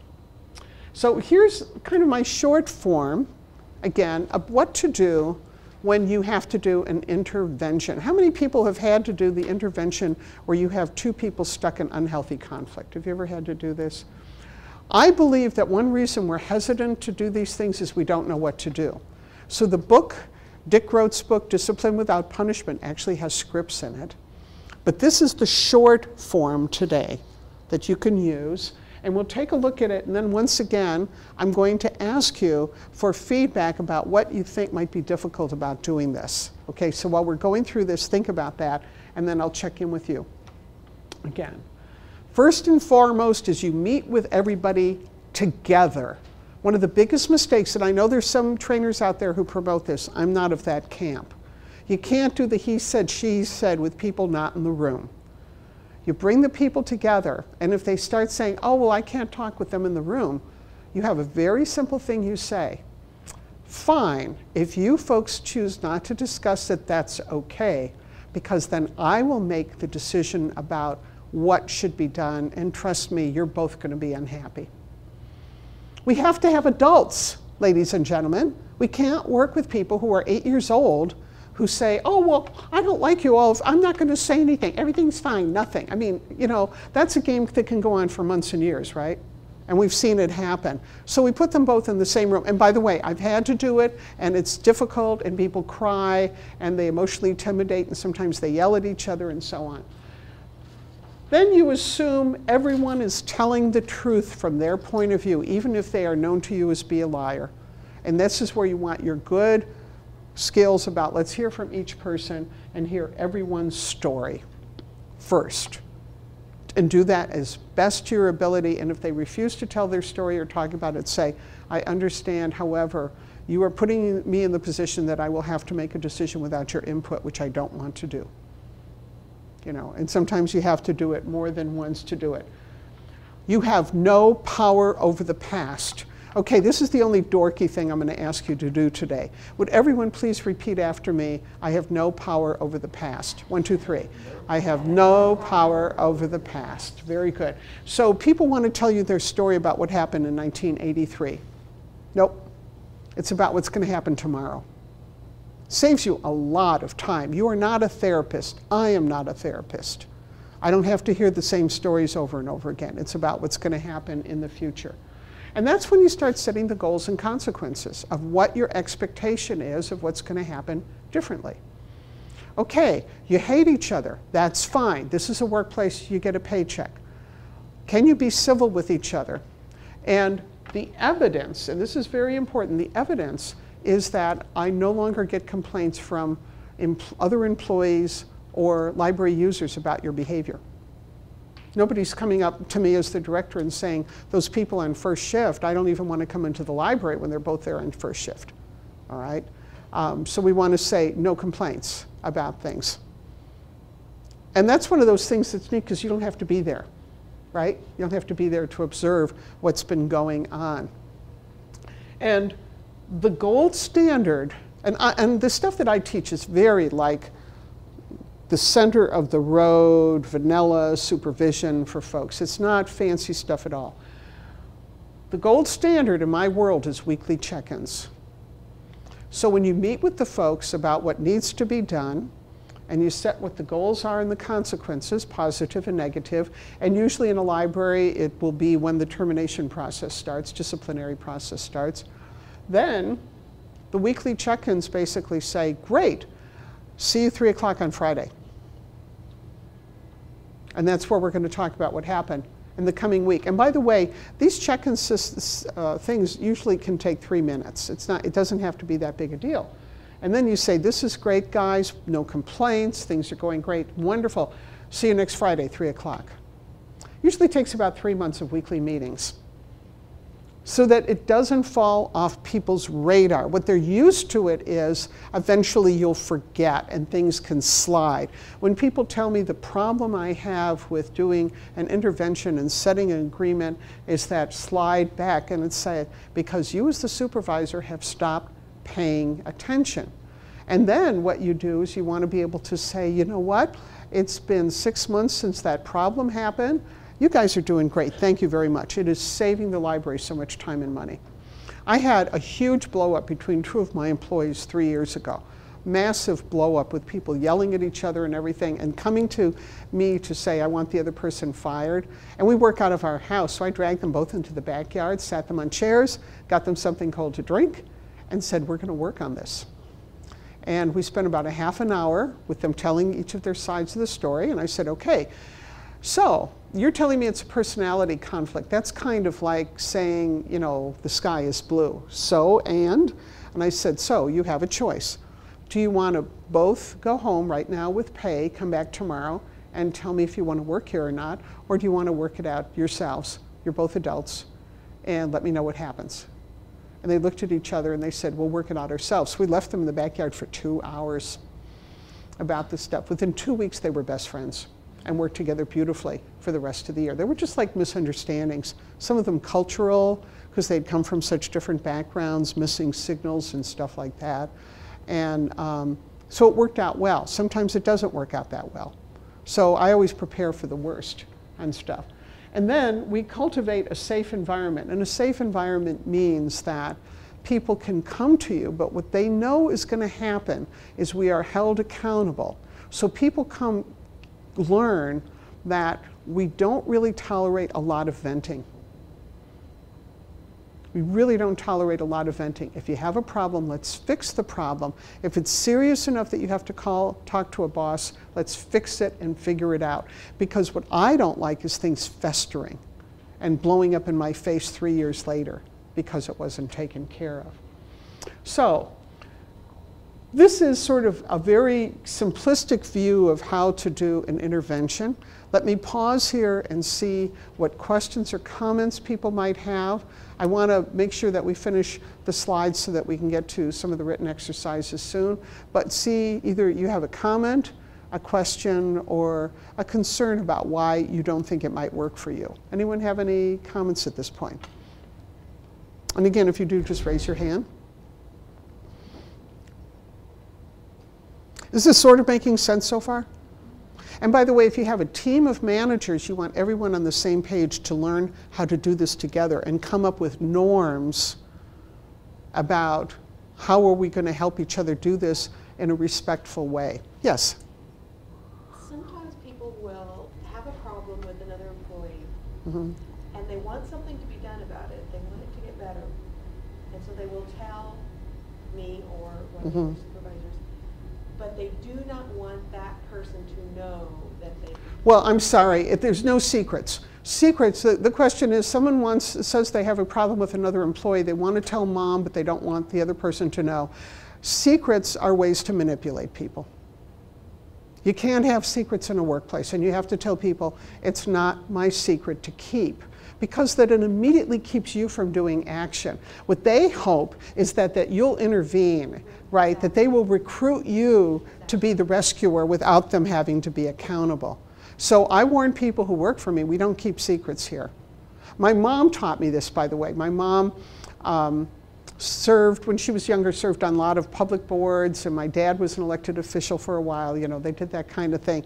So my mother would be at the grocery store, and she said it was always when you're trying to make the decision about the melon you know, and that's like pretty high grade cognitive work to decide if the melon's ripe. You know, and you're thumping it and you're smelling it, and Ma's working on the melon, and here comes someone says, Esther, listen, I really need your help. Now, this has to be a big secret, but I'm hoping that I can get your support for this particular project and on and on. And my mother would pretend to adjust her hearing aid, and in a nice, clear voice, she'd say, What? I'm sorry, I had my hearing aid turned off. Oh, what you're asking is about what the decision is going to be made on the new vendor who's going to be dealing with the condo association. And my mother's voice can carry very, very well. The person's going, Shh, shh, shh. And my mother says, Never tell me a secret. Never tell me a secret, right? So people can't manipulate her. I think the same thing is true with directors. And we're going to talk a little bit actually in our next program on change about transparency. Transpa- why we have sunshine laws. And that's why I want them to apply. It doesn't mean that everybody has to know everyone else's business. I'm not saying that. But if person A has a problem with person B, you bring them both in. Because it is very rare it is one sided. It is very rare that it's one sided. Good point. Anyone else have something? A question or a comment about this little model so far? Do we have any, Joe? Let- and, the, and just give them to me one at a time, Yeah, uh, two. Uh, so the first is what if an employee has a problem with their direct supervisor? How do you handle that without circumventing the system? Then you bring them both in. You bring them both in. And um, you have to have, remember, we have to have a system, a grievance process that allows people, and this goes back to cultivate safe environment, what if it's your immediate supervisor who's the problem? Or what if it's the supervisor above that supervisor who's the problem? All the people at the top of the food chain have to understand something, and administration and management, they are not exempt from the same rules that everybody else who works in the workplace. They are not magically exempt because they're a manager that they might not get called in. And sometimes you have to have a system, um, and we, I do this when I do board work, about when are the times, and they're rare, that a, a employee is allowed to circumvent the grievance process. Um, and goes directly to the board about a director issue. And my rule of thumb, which has held up pretty well over the years, is if the director is committing a felony, you know, like they have their hand in the till, or they're breaking a really important supervisory rule like sexual harassment or something like that. But otherwise, we go through the process, and that's to hold everybody accountable. I do this because I've seen people's reputations and careers ruined by rumor and innuendo. And it's much better at the beginning to have everything set up. That's why I'm in favor of directors going through those 360 evaluation processes where, where you hire a firm to come in and there's an evaluation process so that you can find out what's going on and the firm looks at stuff and says this is what's um, happening. We have had some really ugly situations where direct supervisors were blatant in their sexual harassment or um, dealing with issues like racism and sexism and so on. Um, and the supervisor did it because they knew they would never be held accountable for what's going on. The thing that appalls me, folks, is when you hear these national stories about directors out of control for years spending hundreds of thousands of dollars, and you wonder where the heck is the board? Now, one thing we do sometimes with boards, and I mention this because I know a lot of you work directly with your boards, is something we call a heads up. A heads up is kind of a gray area. So, you're, um, say you're someone on a board and you're trying to pick the right melon, and someone comes up and says, Listen, I know it's none of my business, but I ran into a really bad situation at your library the other day with your director. And I witnessed the director being doing things that I thought was inappropriate.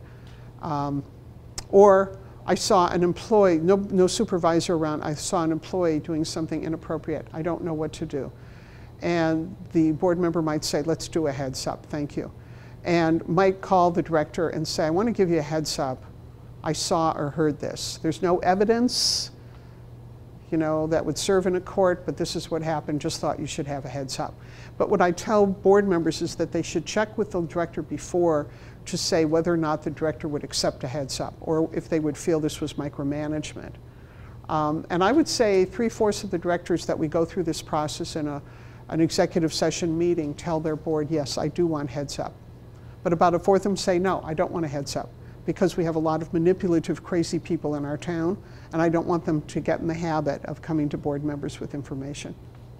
So you, you go by what the director says. What was the second one, Joe? Uh, the other question, what if one of the two, peop- two people in the conflict doesn't want to sit with the other person to solve or talk about the problem? Well, it's um, insubordination if you ask an employee to come into a room and they won't come into a room. You can't have that game. I mean, really. We want you to come into a room and sit down. That should be part and parcel of what someone does for a living. You know, your boss asks you to come in. You're not, your boss isn't asking you to kill a kitten. They're saying, come into this room and sit down. If you really are so emotionally distraught that you can't do this, then the question is, does this person have the emotional maturity to work in that workplace? Because this is going to come up over and over again.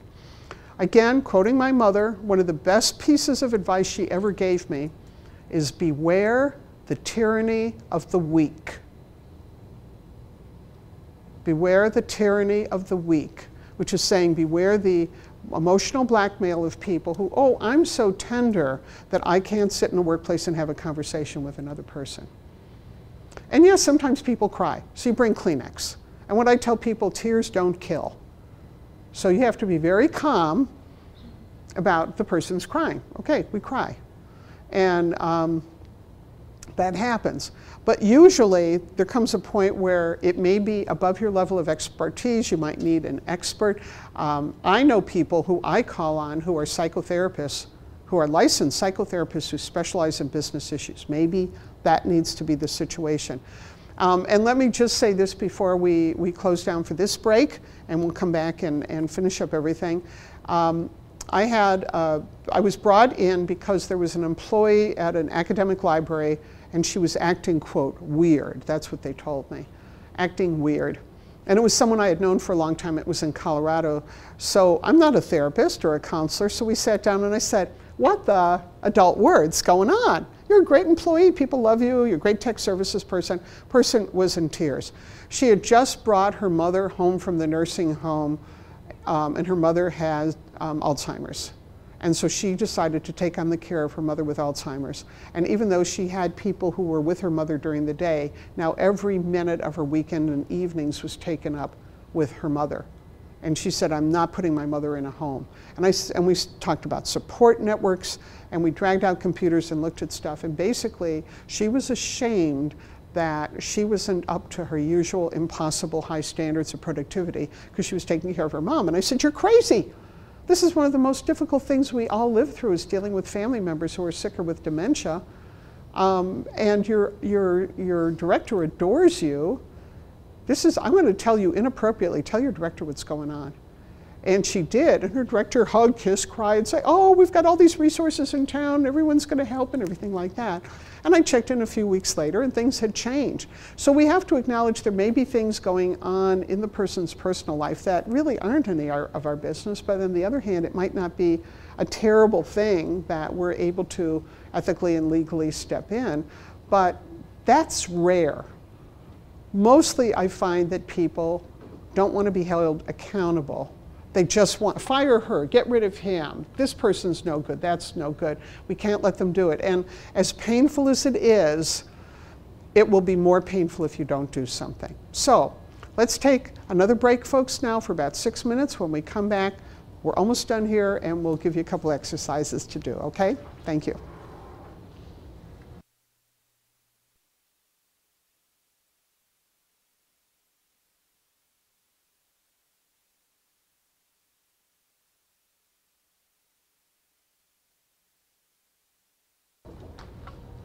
There we go.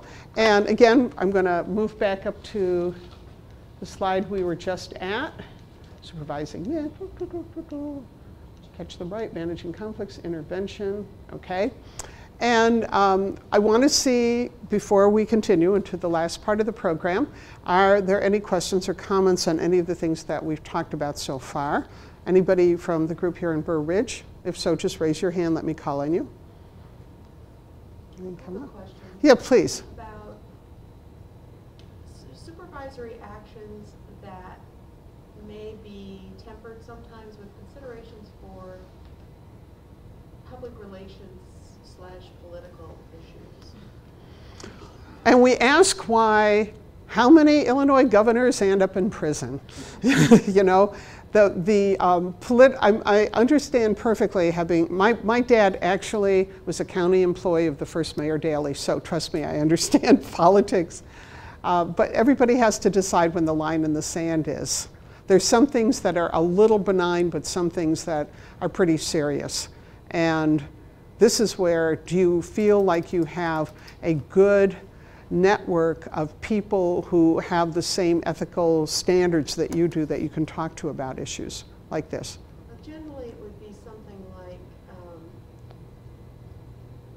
where you might be considering action against an employee who is well loved. No, oh, okay. The well-loved employee, well-loved community employee that you know if you go too far, if you, Mhm. that you would get community backlash, right. severe backlash, if you were to. Very good. Here's the issue, and it's again, it's a uh, community blackmail issue. Let's say, and, and I'm not saying this is the case here, but this is what I've run into. Um, uh, I'm going to be very blunt. Drunks are often very pleasant people. Alcoholics are often extremely pleasant people with great skills. So it is not uncommon to have someone in the workplace who's an alcoholic who's not doing their work but conning a lot of people and being really pleasant and fun, except the people in administration know the work isn't getting done. And they also know that this incredibly favorite person is there's going to be community backlash. In a smaller community or whatever, this is where you need that network support group of people who are going to back you up in terms of the law. Otherwise, you're basically saying, I'm going to make the right decision even though it might get me fired. And that happens sometimes. Um, so you go to the folks that you need to. Um, if you don't have the support of your board president to make that hard decision, that's when you start looking for another job. Because this starts corrupting your ability to be able to do your work if you have to be afraid of you make an honest, decent decision that's informed in your job as a director or manager, and you're going to be thrown under the bus for doing it. You know, get out of Dodge before that happens. It might take two years. It might be difficult for your family, but you can't work in a place when you're afraid of making the right decision. Uh, so the issue, the um, example I want to use, which was very interesting, was in a Los Angeles suburb, and this is exactly what happened. The long-term drunk, high-functioning alcoholic uh, was losing it more and more, and they were costing the library a lot of money in their position. They wouldn't learn new things. It was a problem, all this stuff. And the director knew that it would be an issue. Also, the director herself didn't have the best interpersonal school, skills. She just, she was good. She wasn't a likable person in some ways. So she had a bunch of people out there who wanted her fired. So the first thing she did, because she was good at politics, is she went to the head of the board and sat down and talked through the whole issue. And the board guy said, You got to be as absolutely honest with me as possible of everything you've done wrong, every flaw and everything. And they just laid it all out and everything. He said, No, I'll support you about this. And they figured out what to do and how to do it. And he went and talked to the board, and the board said, We will stand fast because our director's a good person and we know the situation, so we'll take the heat. Well, everything blew up, and the person went to all his best friends and, and everything. So they did two things. They had a staff meeting that was a closed staff meeting under executive session, which was part of California's open meeting rules, where they could talk about what happened. And basically, she brought in a, um, a lawyer, personnel attorney, and um, an HR person who basically said, okay, folks, you're upset about the firing. Under California law, and it wasn't the director saying this, it was these experts. Your director is forbidden by law to say anything, just as she would have to protect your confidentiality if it was you. So, what she's doing now is doing exactly what the law requires. Now, what questions do people have? And then they went through every possible question. And most of the staff, not all, went out and said, I didn't know that. Okay, all right, you know. But they couldn't tell about the particulars. But then this guy had a big friend at the city council. And the guy in the city council went to the papers and then he went after the library board. Well, the gentleman who was head of the library board was a Chinese American multizillionaire who had come over the country in a raft, one of those amazing success stories. I mean, he was like, I've dealt with the Chinese communists. I can deal with city council in Los Angeles. And he went up and made this incredibly articulate statement um, about the fact that the board was not going to back down and it wasn't the city council's business and everything else. It took about six months to blow over. But she told me if she had, had not had the board support, um, not only would she not have fired the person, but she would have had to have quit. Because you can't let the bullies run the world even the nice bullies who think that you've done something bad. And many of these public battles are not bad people against good people, they're good people against good people. Mostly because the good people who are against the firing don't and we'll never know the, the whole story about what's going on legally about stuff. And I'm not trying to be glib about this because I've had to face this myself, as have family members. And being a good supervisor sometimes means that you're always looking for your own, your, your next gig. You can't be complacent because that's when people say, okay, this is how I can blackmail you into never dealing with this situation. And it's benign, it's little, it's a library, but let's, let's, stop, let's stop the corruption there. Let's, let's stop it as well as we can. And I would never be upset with anyone who called me and said, I had to make the decision not to do the firing because I couldn't upset the mayor, because it's the mayor's uncle's incompetent sister's brother's cousin's kid. It's like, you know, life is life. Life is life. Did anyone else have uh, one before we continue? These are good questions today. Did you have anything, Joe? I think? Okay, very good.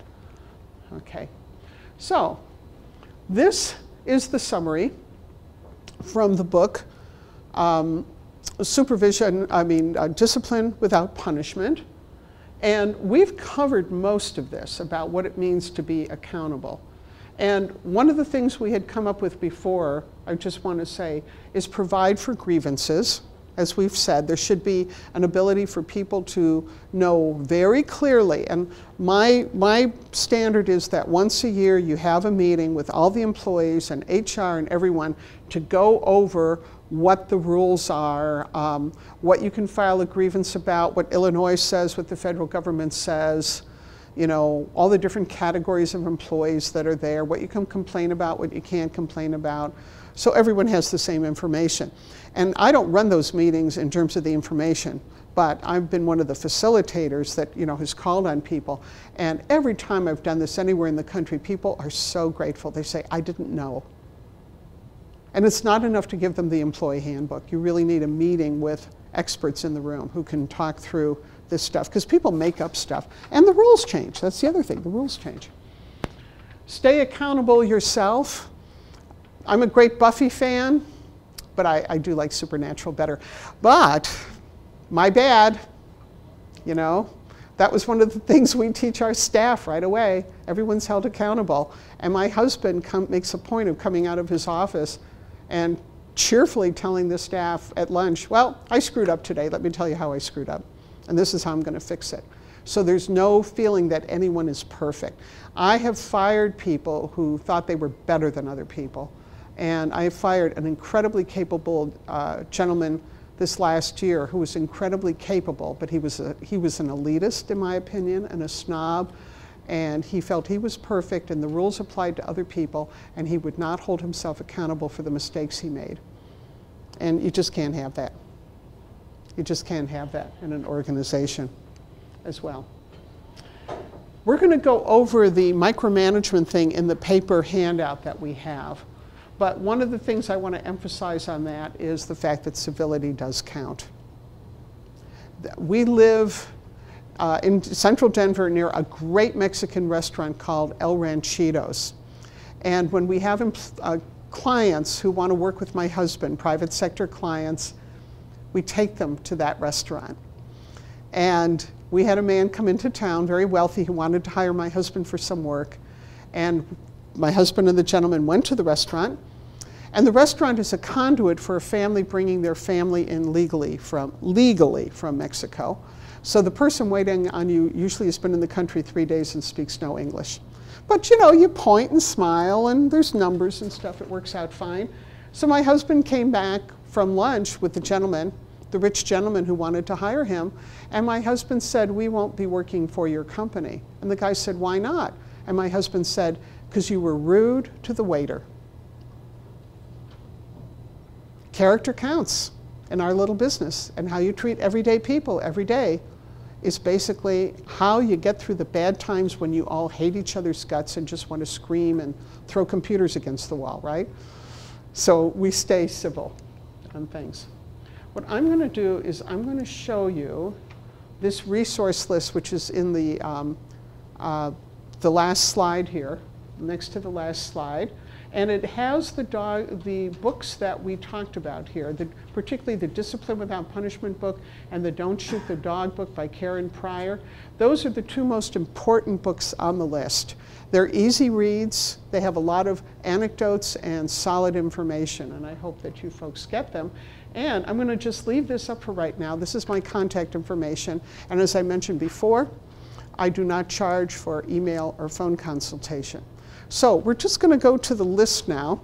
There was nothing that really popped up from your feedback that made me feel that we had to go into anything in depth. So I decided of all the stuff we talked about, there were a couple things that might be most useful. And what I would like to do is to have you take a look starting on page 9. And what we're going to do is take a look at the information that's on page 9, the management triangle, and then we're also going to take a look at the information on page 11, which is sometimes called the expectation model.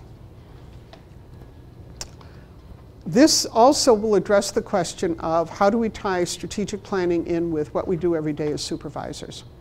So we need to be able to develop efficient ways to talk about what is the work that needs to get done and how we evaluate that work. What is the work that needs to get done and how we evaluate the work. So one of the first ways we do it is understanding the management triangle because it's sometimes called the iron triangle, by the way. It has many different names. It's been around forever. And some of you may have seen this, and I just want to make sure um, I'll talk to our extensive, vast technical staff, and I'm going to be standing over here next to the board and it's visible to the folks, and very good. I just want to make sure that we have this here. And what I love about this is it's something you can teach a 12 year old. You know, that any of the models I use can be taught to a bright high school student or a reasonably experienced high school student. They don't have to be uh, someone with a PhD or whatever. These are commonsensical things. Everything we do in life, according to this model, we're weighing three ideas. What is the quality of what we're doing? How good is it? How much does it cost in resources, particularly money? And how much time does it take? In effect, how convenient it is. And the model, which you, some of you I know have run into, is do you want it good? Do you want it cheap? Do you want it fast? Now, it's a ratio. There's some things in world that we want really good. There's some things we want really cheap, some things really fast. So when I'm introducing these, this idea, for example, at a staff day, it's kind of fun because you can put anybody at anyone's table, mix people up, and then you get people to talk about this. So let's give a minute, and, and I hope the folks who are in the ether will join in with us. But what are the things in the world that you will spend a lot of money on and wait for because you want the highest possible quality. And if you have something in your life like that, raise your hand. And I can tell you what, what it is for me and my husband. But what's something in life that you want the highest quality that you will pay extra money for and you'll wait to get because quality is the most important thing? Anyone have an example? And raise your hand if you've got one. As an American consumer, we're not talking about the library, just as an American consumer. Yes, please. Um, I live in a house with all boys, and one of the things that I will spend more on is toilet paper when we go to the grocery store. Ah. I don't want the cheap toilet paper. I want the quality toilet paper. See, this is, I'm so glad you brought this up because this is an issue in our family. and this is the kind of thing people should go through marriage counseling before they move in with another human being. I am of the quality camp. I, well, actually, I'm not. I, I, should, I should change that. My husband is of the quality camp. I am 64 years old and I am not adequately trained in my husband's mind to buy the right kind of toilet paper. He buys the most expensive quality paper. It must be the Vulcan quality paper that he gets. I'm the one who I will buy what there's a coupon for on sale and or I'll buy what's on the first shelf coming in so I can grab it at the, and run back and get my work done. Um, divorces have happened over the toilet paper issue about things. I'm so glad you brought it up. So we can laugh about that, but isn't it true there's some people that quality is more important than money? So, okay, this may be intrusive, but how many people here are like my husband and are of the quality camp? You'll pay extra for quality. How many people are like me who are the money camp? You want it cheap right? We should really gone through marriage counseling before we figured out this issue. Anything else that you want really equality for? More so than money. The location of my retirement. Say again? The location of my retirement condo. The ro- location of your retirement condo. So you're doing some research, right? And different places? So it's not that you're thinking, oh, I'm retired and I get to experience the joy of a northern Illinois winter for the rest of my life. No, no, I say, yeah. and by the way, Denver's great because it's if you like the seasons, but we get sunshine. Right. That's I the big. Denver. Denver's good, except housing is like Yes. out of the market right now. It's amazing. I see people who spend more money, uh, more time trying to figure out what car they want than planning for their retirement. Isn't that interesting how people do that? Now, we have quality issues. One is that our cats aren't spoiled, but trust me, they eat the highest quality kitty food. And people tease us about it, but then they look at our cats and say, oh, Your cats are gorgeous. They have such thick fur and they're so healthy and they're hardly ever at the doctor. And to me, the highest praise was when my vet said to me a few years ago, I want to come back reincarnated as one of your cats. So we don't, we don't skimp on the quality of our food for our pets because we've known it's paid off. And the same thing is we're not foodies, but we eat very high quality, healthy food because, as my husband said, it's cheaper than going to the doctor every other day and things like that. Um, I really am, I, I'm sorry, uh, we're not into like wine and liquor, but definitely the imported single source fair trade Belgium dark chocolate from the Congo. I'm, yeah. We spent 50 cents more for something. I can't even believe I ate Nestle's when I was a child. It's just horrible. What else? Be, okay, I want toilet paper cheap. What's something you want really cheap?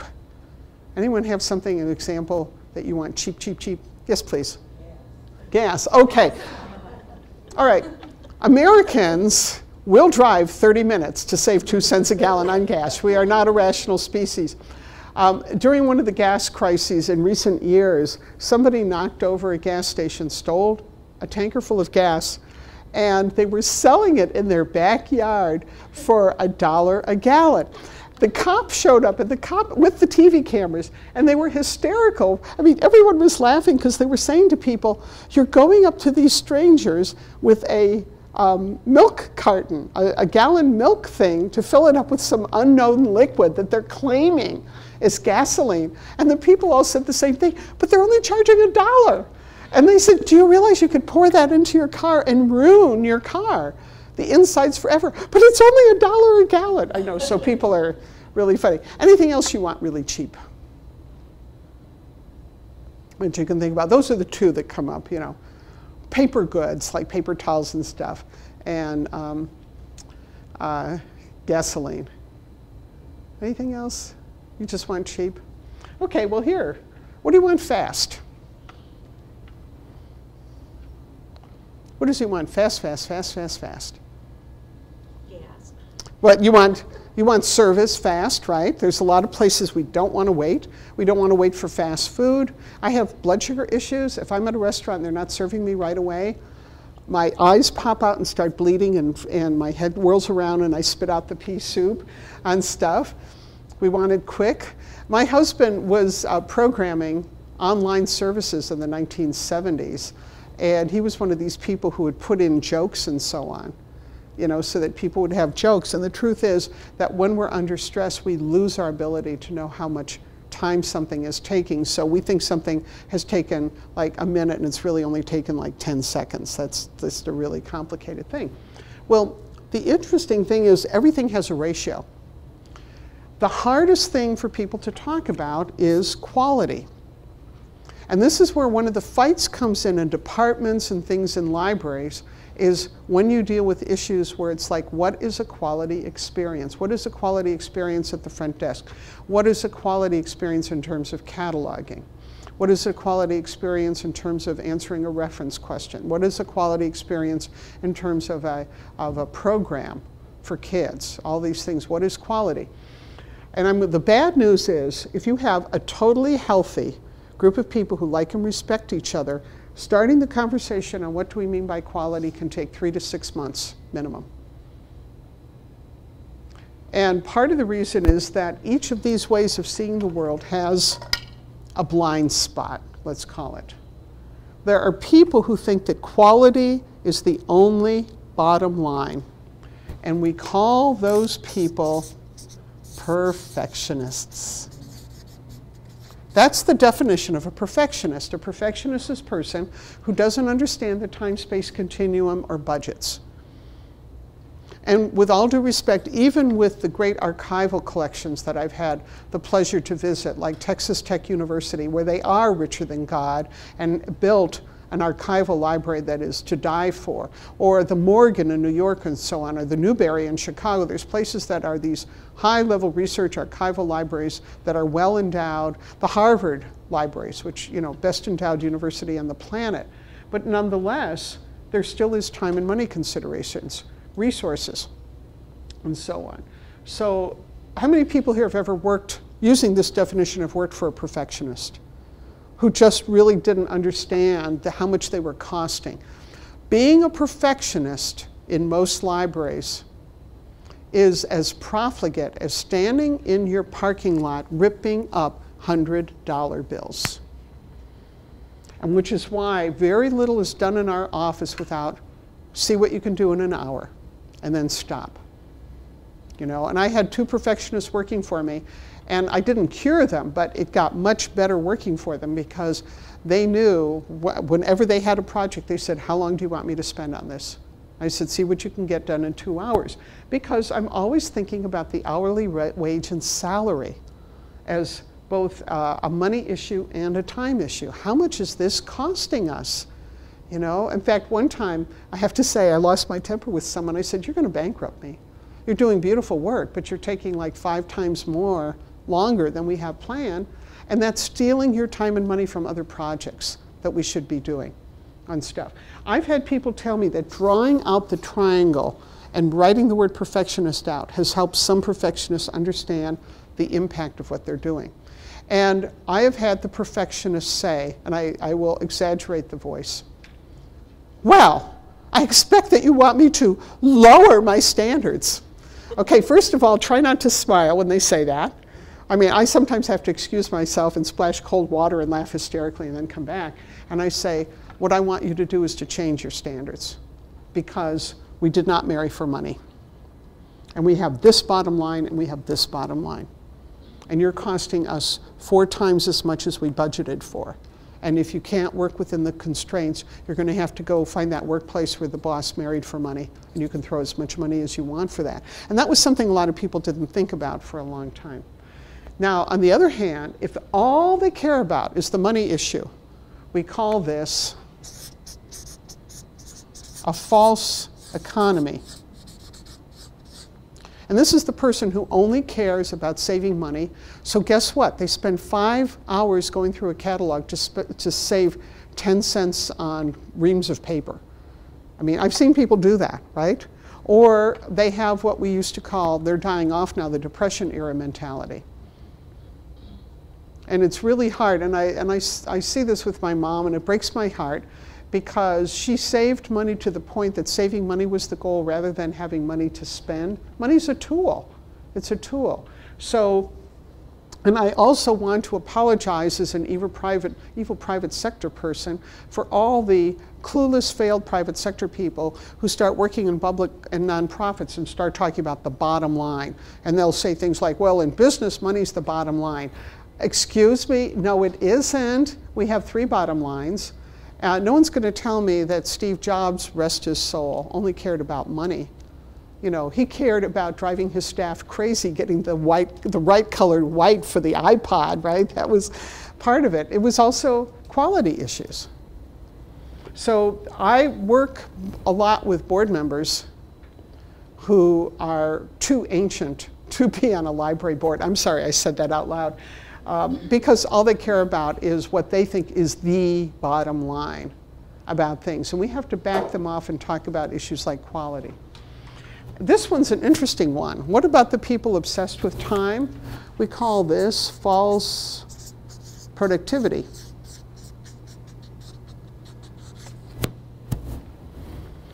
False productivity is doing things really, really, really fast. And this is something Toby and I are working on. He's a great guy and he's really fast. And guess what? He has to redo what he does two or three times sometimes. He's learning to slow down. He's really, he's great. He's great. Um, and it's that thing of where don't you want people rushing through doing stuff? Where do you want them to pause? What is having to be careful? So we don't think about it much, folks. We're all working adults here. But it's interesting when we come into new areas, we have to reset this ratio between the quality of what we're doing, how much money and time we're taking in terms of outlay, and literally how much time it's taking us or the customer to be able to do things.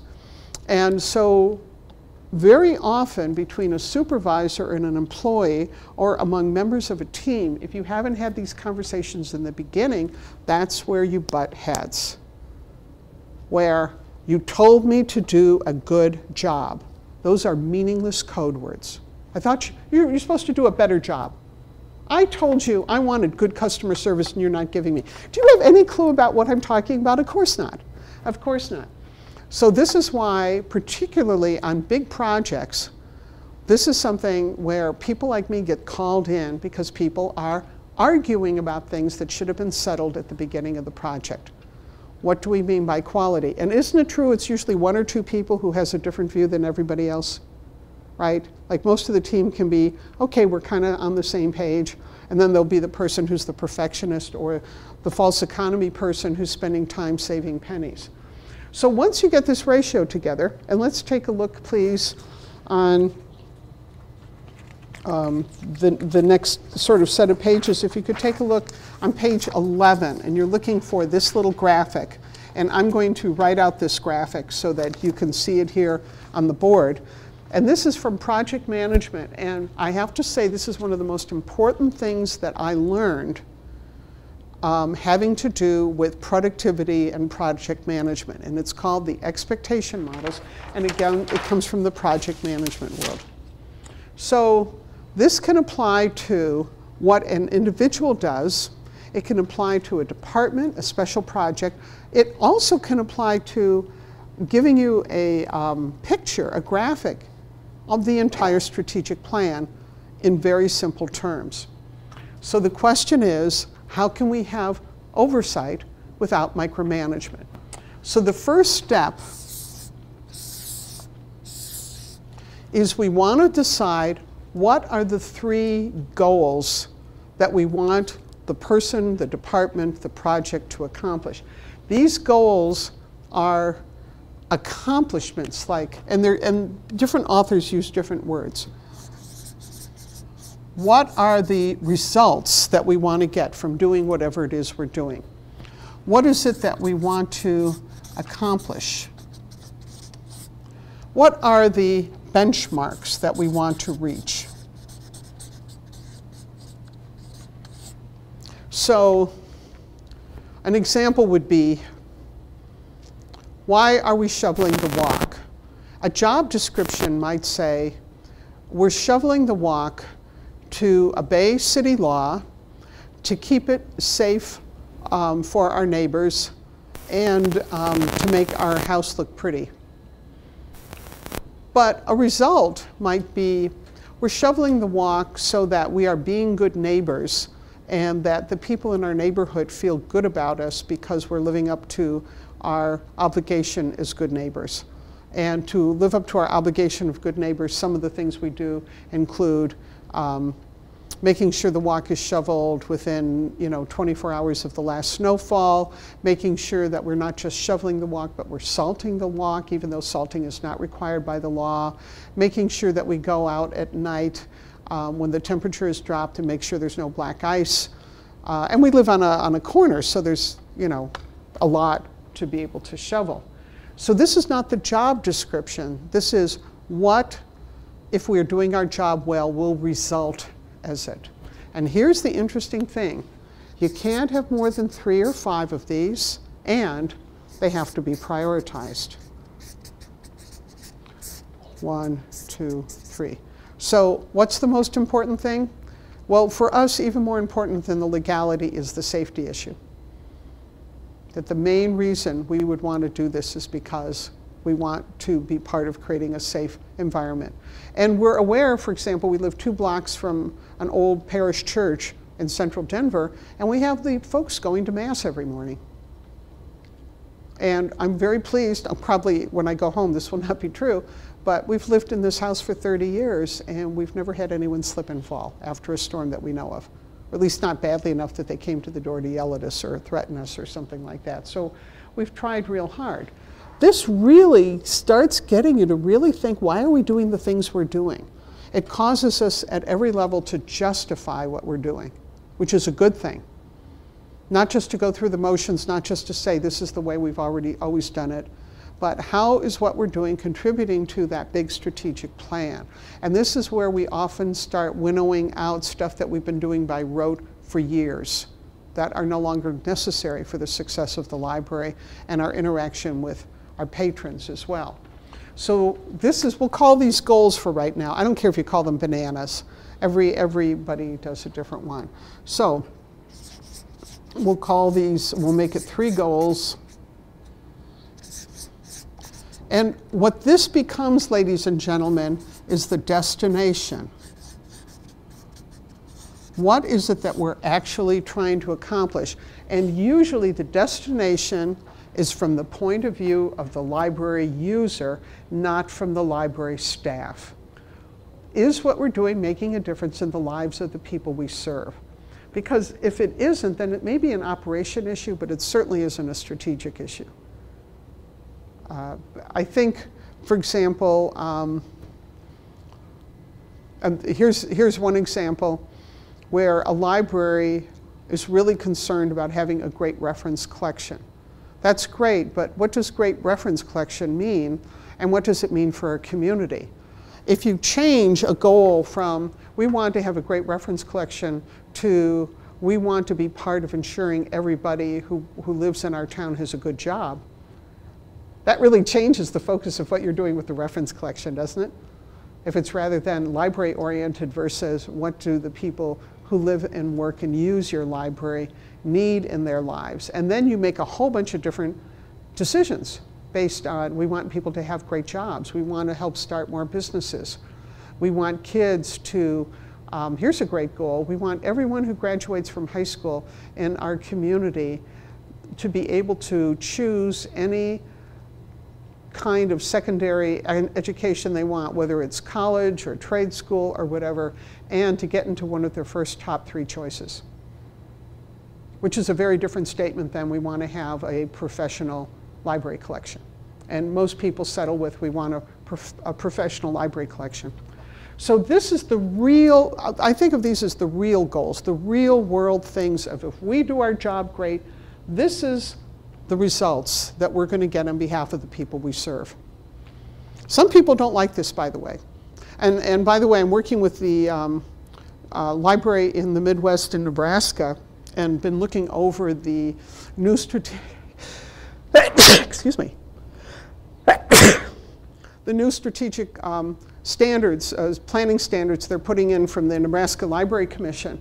And they're all written to be customer centered rather than library centered. It's not how great we're doing, it's how great the communities and institutions we serve are doing. And then this is the heart of it.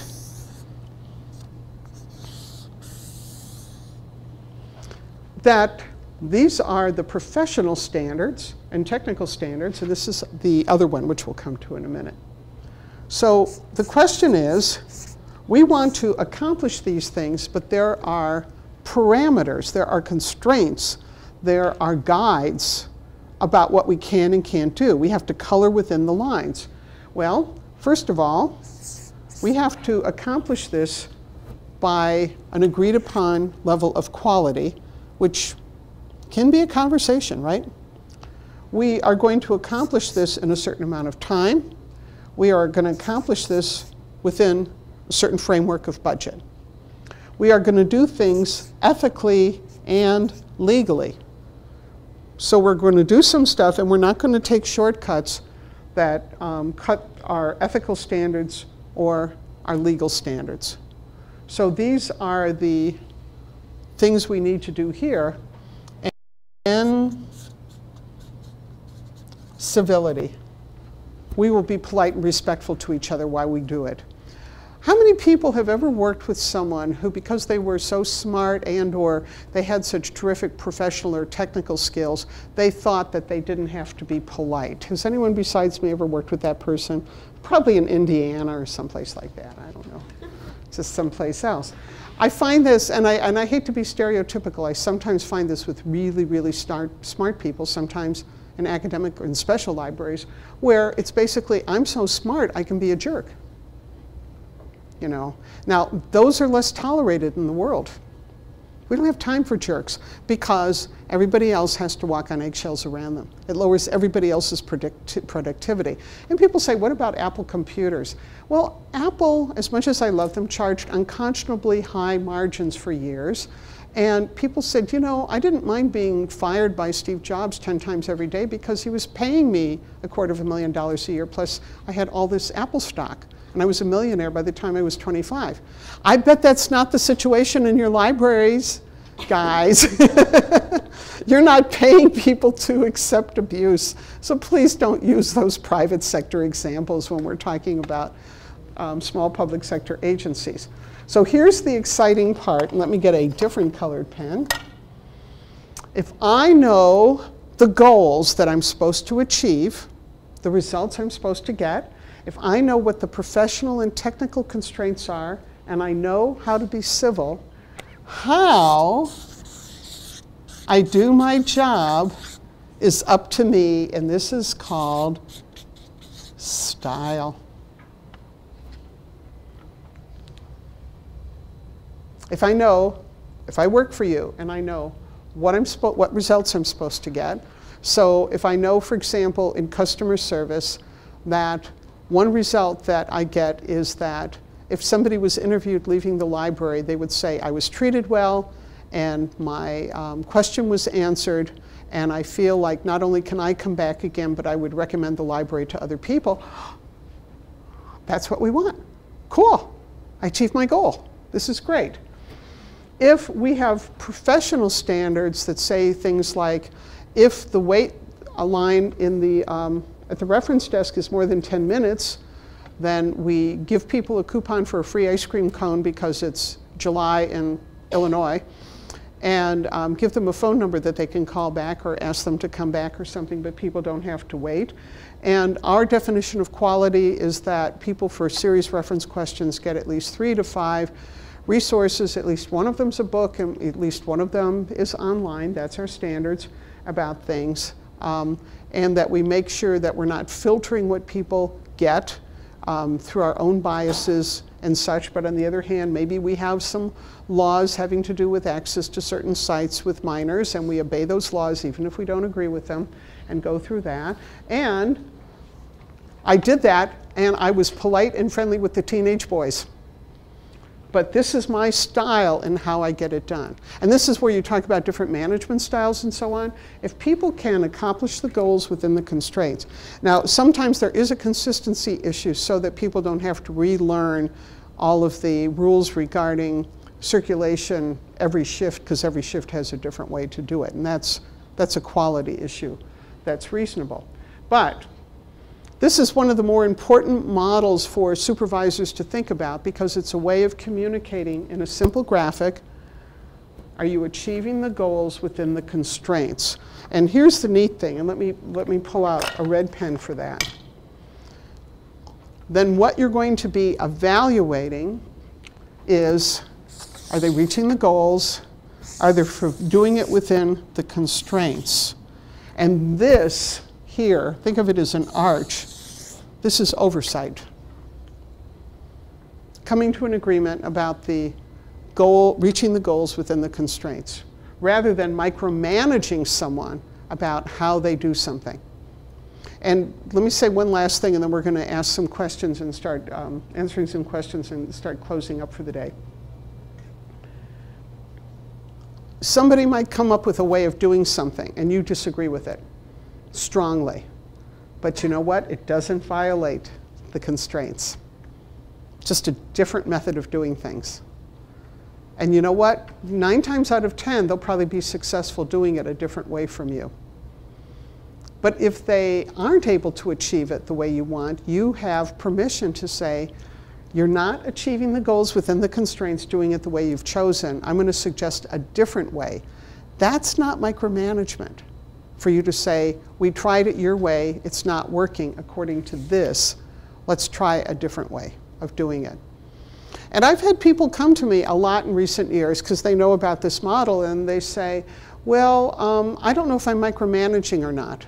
And I say, okay, let's write it out. What are the expectations in terms of the results people are supposed to get? And what people will do sometimes is they'll make these the goals. These are not goals. Finishing something on time is not a goal. That's, that's not a goal. Um, so you say, no, no, no, you can, that's, you know, finishing something under budget, that's not a goal. That's what operations does. What actually do you want people to accomplish? So I had a library director in northern Wisconsin a few years ago. We're going through this model, and she said, Well, I have a problem employee who says I'm micromanaging. And I said, What's the problem? And she said, Well, she takes her own sweet time shelving. And I told her she should do it more efficiently, and she ignores me. And I said, Well, okay, let's examine this. Is can people find material in a timely fashion? She said, Yes. I said, Is she reasonably accurate? Yes. I said, Great. So she's getting stuff where it's supposed to be so people can find stuff, and she's doing it accurately, right? So we're supporting the whole access service model of access to information. Great. Does she damage the books while she's doing it? Does she sort of like place kick, kick books and scuffle them on the floor? She says, No, she doesn't damage books. They thought it was funny. And I said, How does she treat her coworkers? She's nice. I said, when she's done with her shelving, does she work at Circ? Does she do tech services? Yes. Is she nice? Yes. She nice to the customers? Yes, she's nice to everybody. And I said, I don't know how to tell you this, but she's fulfilling the goals within the constraints. And how she does it is up to her. I said, but what I'm suspecting is you're not giving her enough work to do. Maybe she's doing it a little too leisurely, right? If that's what the issue is. So it's very interesting, I think. And by the way, there's something about putting it on a board and having a group of people who talk about it, talk about what's here in the model, that tends to lower emotionality about things. So we gave you today a whole bunch of stuff from behavioral science, from supervision, personnel management, and so on. Um, the rest of the information in the handout we've tried to arrange in such a way that you could use it for the particular issues. If you look at page 18, we have even some more resources. Some of these are the same ones that are in your slide, but there are even more there. So let me pause, see if there's any questions, and then I'm going to do a little exercise with you, and we will be finished. So out of all the things that we talked a little bit about today, did anyone have any questions or comments? And we'll start first with the folks here in, in Burr Ridge. Did anyone have a question or comment about anything that we, we talked about today, or a concern?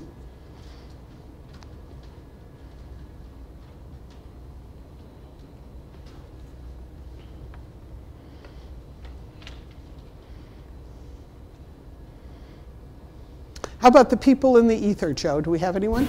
Well, I just put a call for last questions, nothing Okay, yet, great. but I did, you should know that Kim said bless you. Oh, okay, thank you. Because I'm Gesundheit, right? Very good. Well, let's do this while we see if anyone has any questions. If you were teaching a class on supervision, what from today's program would you want to include in your own curriculum? If you were teaching a class on supervision, what from today's program would you want to include in the curriculum?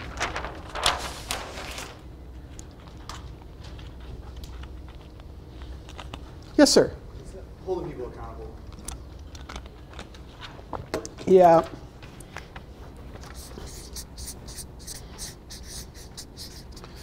And I hope that I gave you some ideas for folks that it's not about being mean. It's not like you're a meanie doing this. It's just that you are fulfilling your contract. And remember, you all have social contracts as stewards of government resources with your taxpayers. And that includes how much time it takes to do stuff. So, excellent. Yes, please. Let, let me start with this lady then here. Go ahead, please. Positive reinforcement. Yeah. Is not, no matter how you were raised, right? No matter how you were raised, still learning how to apply good positive reinforcement.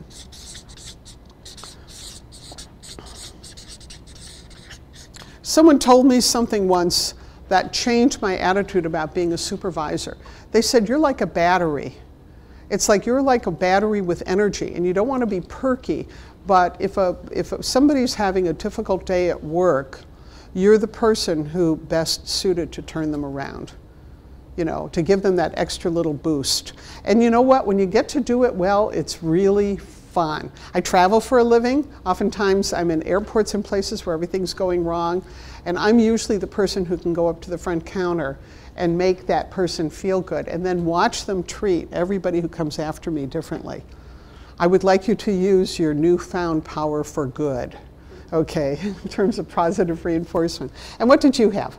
Like the um, agreement elements, Oh, the agreement elements, yes. actually taking a job and coming to an agreement. Yes. And when you have the different elements of agreement, remember part of your job as a supervisor or manager is you get to be Solomon. You get to cut the baby in half. Uh, if there are two groups of people who are very close to agreement, or you know, you've been arguing for six months what the ILS is, well, guess what? It's probably, it doesn't matter which one you choose because the cost benefit ratio is pretty much the same. So, one of the things that I tell my employees is I help you get back to work. So, when you feel stuck, you're stuck on a decision, or you're stuck on what to do next, or you're stuck, should it be red or blue, I'll come to me and I'll use my sword or flip a coin, and literally we'll flip a coin and go blue, go back to work. And that's, that's part of your job as a supervisor in increasing productivity. so, and in a lot of workplaces we work with, we set a deadline. Like we will take until Friday to discuss this. And if a clear choice does not come up by Friday, we'll make a few phone calls and see if any of our friends are saying, no, no, that vendor's terrible. They're under indictment in Indiana. No, no. Um, then we're going to flip a coin and make a choice. Anyone else here have something you would include in your own curriculum from this morning? Please. You have to share your expectations if you want them to be accountable. Yeah, you have to do the expectations. And I would honestly say that that becomes my first question in most experiences of working with people. And a piece of paper or a manual is not enough. It's not enough to say to people, go look at the website, it's got the personnel manual, or here's a copy of our strategic plan. No, you really actually have to have a conversation because English, if you haven't noticed, is a very slippery language. And there's three things I know that I've learned over the years.